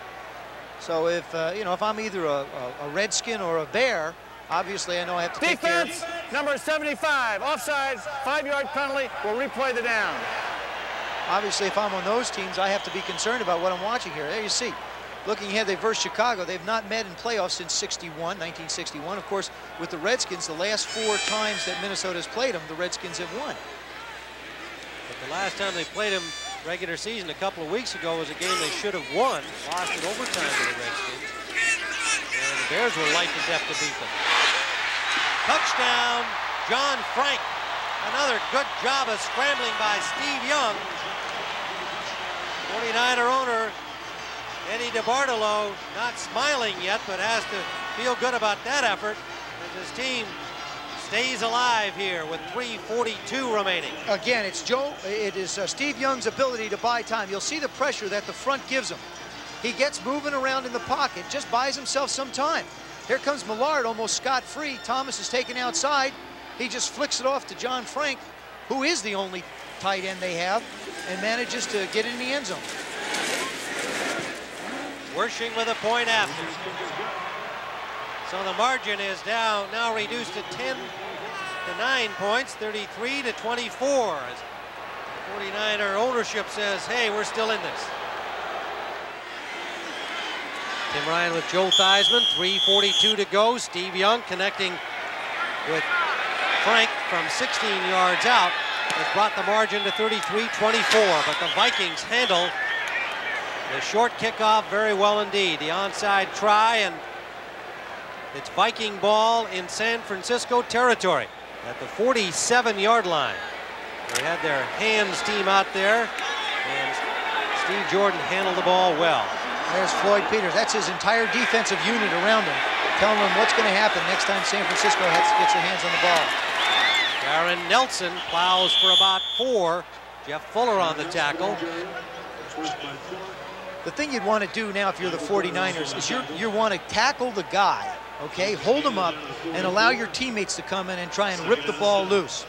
Now, if you're if you're Minnesota or one of the ball carriers, whether it's Allen Rice or, or Darrin Nelson or or Alfred Anderson, what you want to do is you just want to hang on to that football, and if you don't gain a yard, it doesn't matter. Just keep the clock running and don't give up a turnover. Second down, seven. Allen Rice. only about a yard. The ball came loose. Was he down? 49ers strip the ball, but who's got it now? And there's the word. He was down before the fumble. Viking ball. You know, it's funny. I've, I've seen it so often as a as a quarterback, you get in the huddle and you say, don't fumble, don't fumble, don't fumble. The runners become so conscious of it, they almost overprotect it. And this is what happens. Sometimes the ball, now he said he was down. Ooh. He said he was down. I don't know. I got to be perfectly honest with you. That one might require another look-see.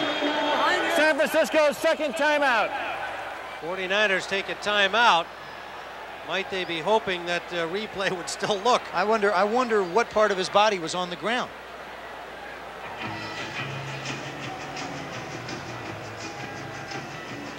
There's Ronnie Lott coming over. Now this is the reverse angle. You'll see him. Right there is the ball carrier. Now,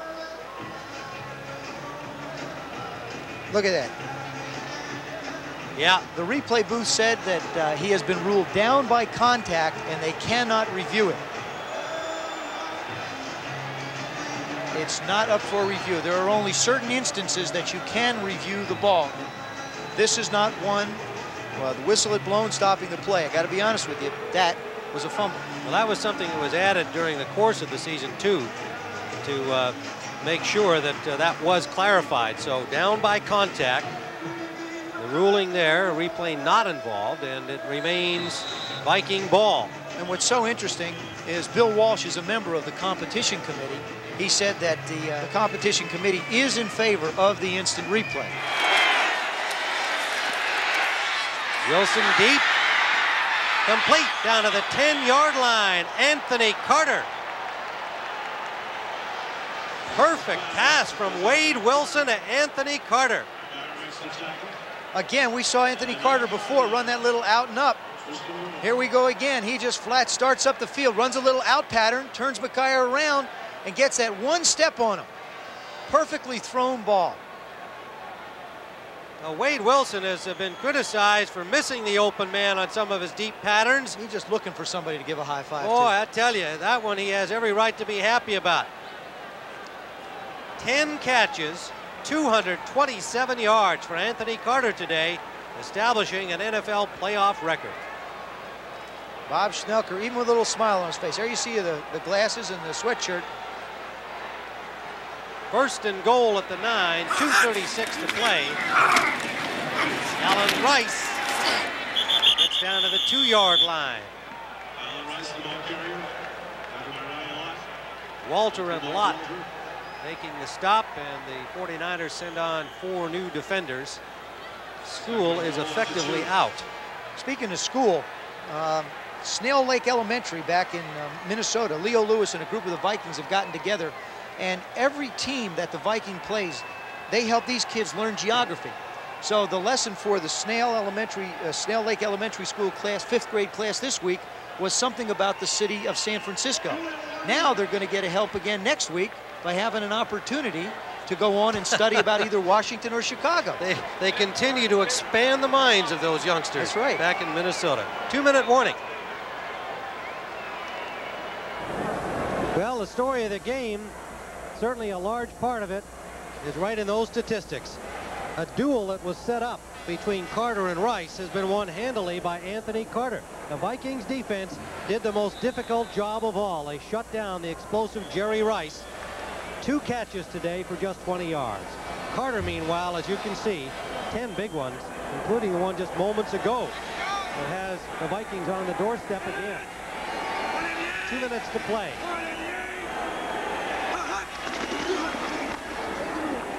There is never one hero in a big important game. DJ Dozier stopped at the line of scrimmage. And while Carter certainly gets a lot of credit, Wade Wilson getting the start has had to uh, be a team player all season long with the uh, problems involving the injury to Tommy Kramer, the back and forth, the starting quarterbacks, the relieving quarterbacks, and Wilson finding out yesterday he would get the start in this playoff game against the 49ers, the best team in the league. And he certainly uh, has had himself an outstanding afternoon. He didn't really anticipate it either. He thought for sure that Tommy Kramer would get the nod in this game, as he did against New Orleans. 22 to go. Anderson, or Dozier again, pardon me, DJ Dozier tripping over the quarterback Wilson on the handoff and lost about two yards on the play. But the clock continues to tick. And it ticks for the San Francisco 49ers, who have had such an outstanding season. Nobody expected that they would lose to Minnesota here today, except perhaps the very loose Vikings, who said, okay, we backed in, so what? We're here, we beat New Orleans, we think we can beat the 49ers. That's the first time in this decade that a team without the home field advantage will not go to the Super, excuse me, with the home field advantage for the NFC will not go to the Super Bowl. There's John Frank looking on, the end of a season. Tremendous disappointment for the 49ers.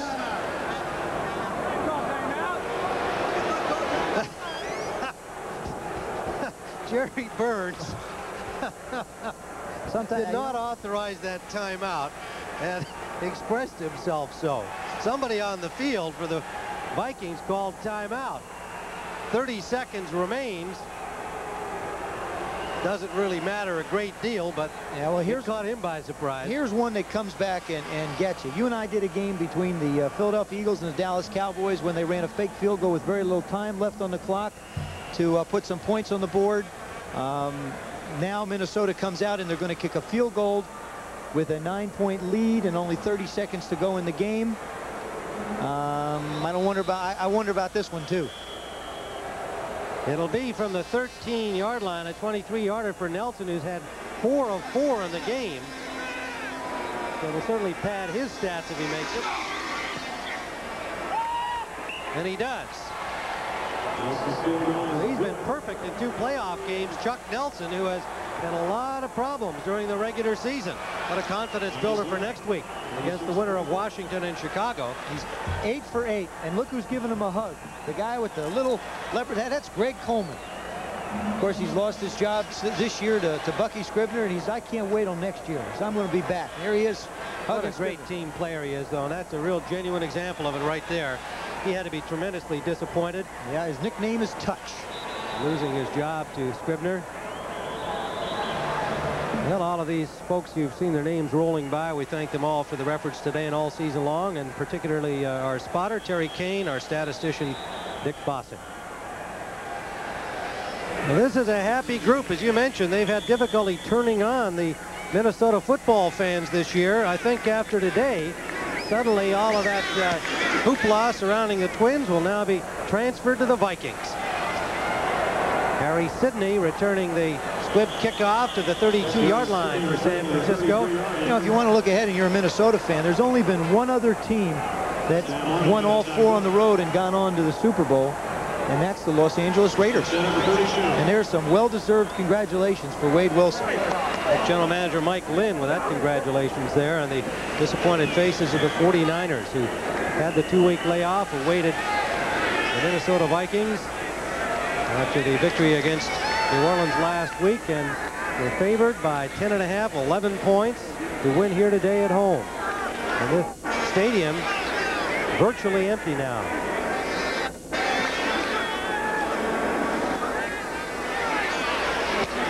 Steve Young, Jerry Rice flips off a lateral intended for Roger Craig, goes out of bounds, and it was apparently a forward lateral. Two flags are down. There's a happy uh, Jerry Burns, and you don't get to see him smile too often on the sideline, folks, even when they make a good play. But uh, now he realizes. Five yards from the spot of foul and lost it down. He's got a victory. There's two guys that are extremely disappointed. I'll guarantee you Bill Walsh did not want to make the decision to take Joe Montana out of the game. And knowing the kind of competitor that Joe is, he certainly did not want to be pulled. Randy Cross, a real warrior for the 49ers, showing his disappointment. Young gets it off to Dwight Clark. Clark flips off the lateral to Young, and Young gets to the 45. And of course, this is going to be three years in a row that Minnesota will have beaten San Francisco.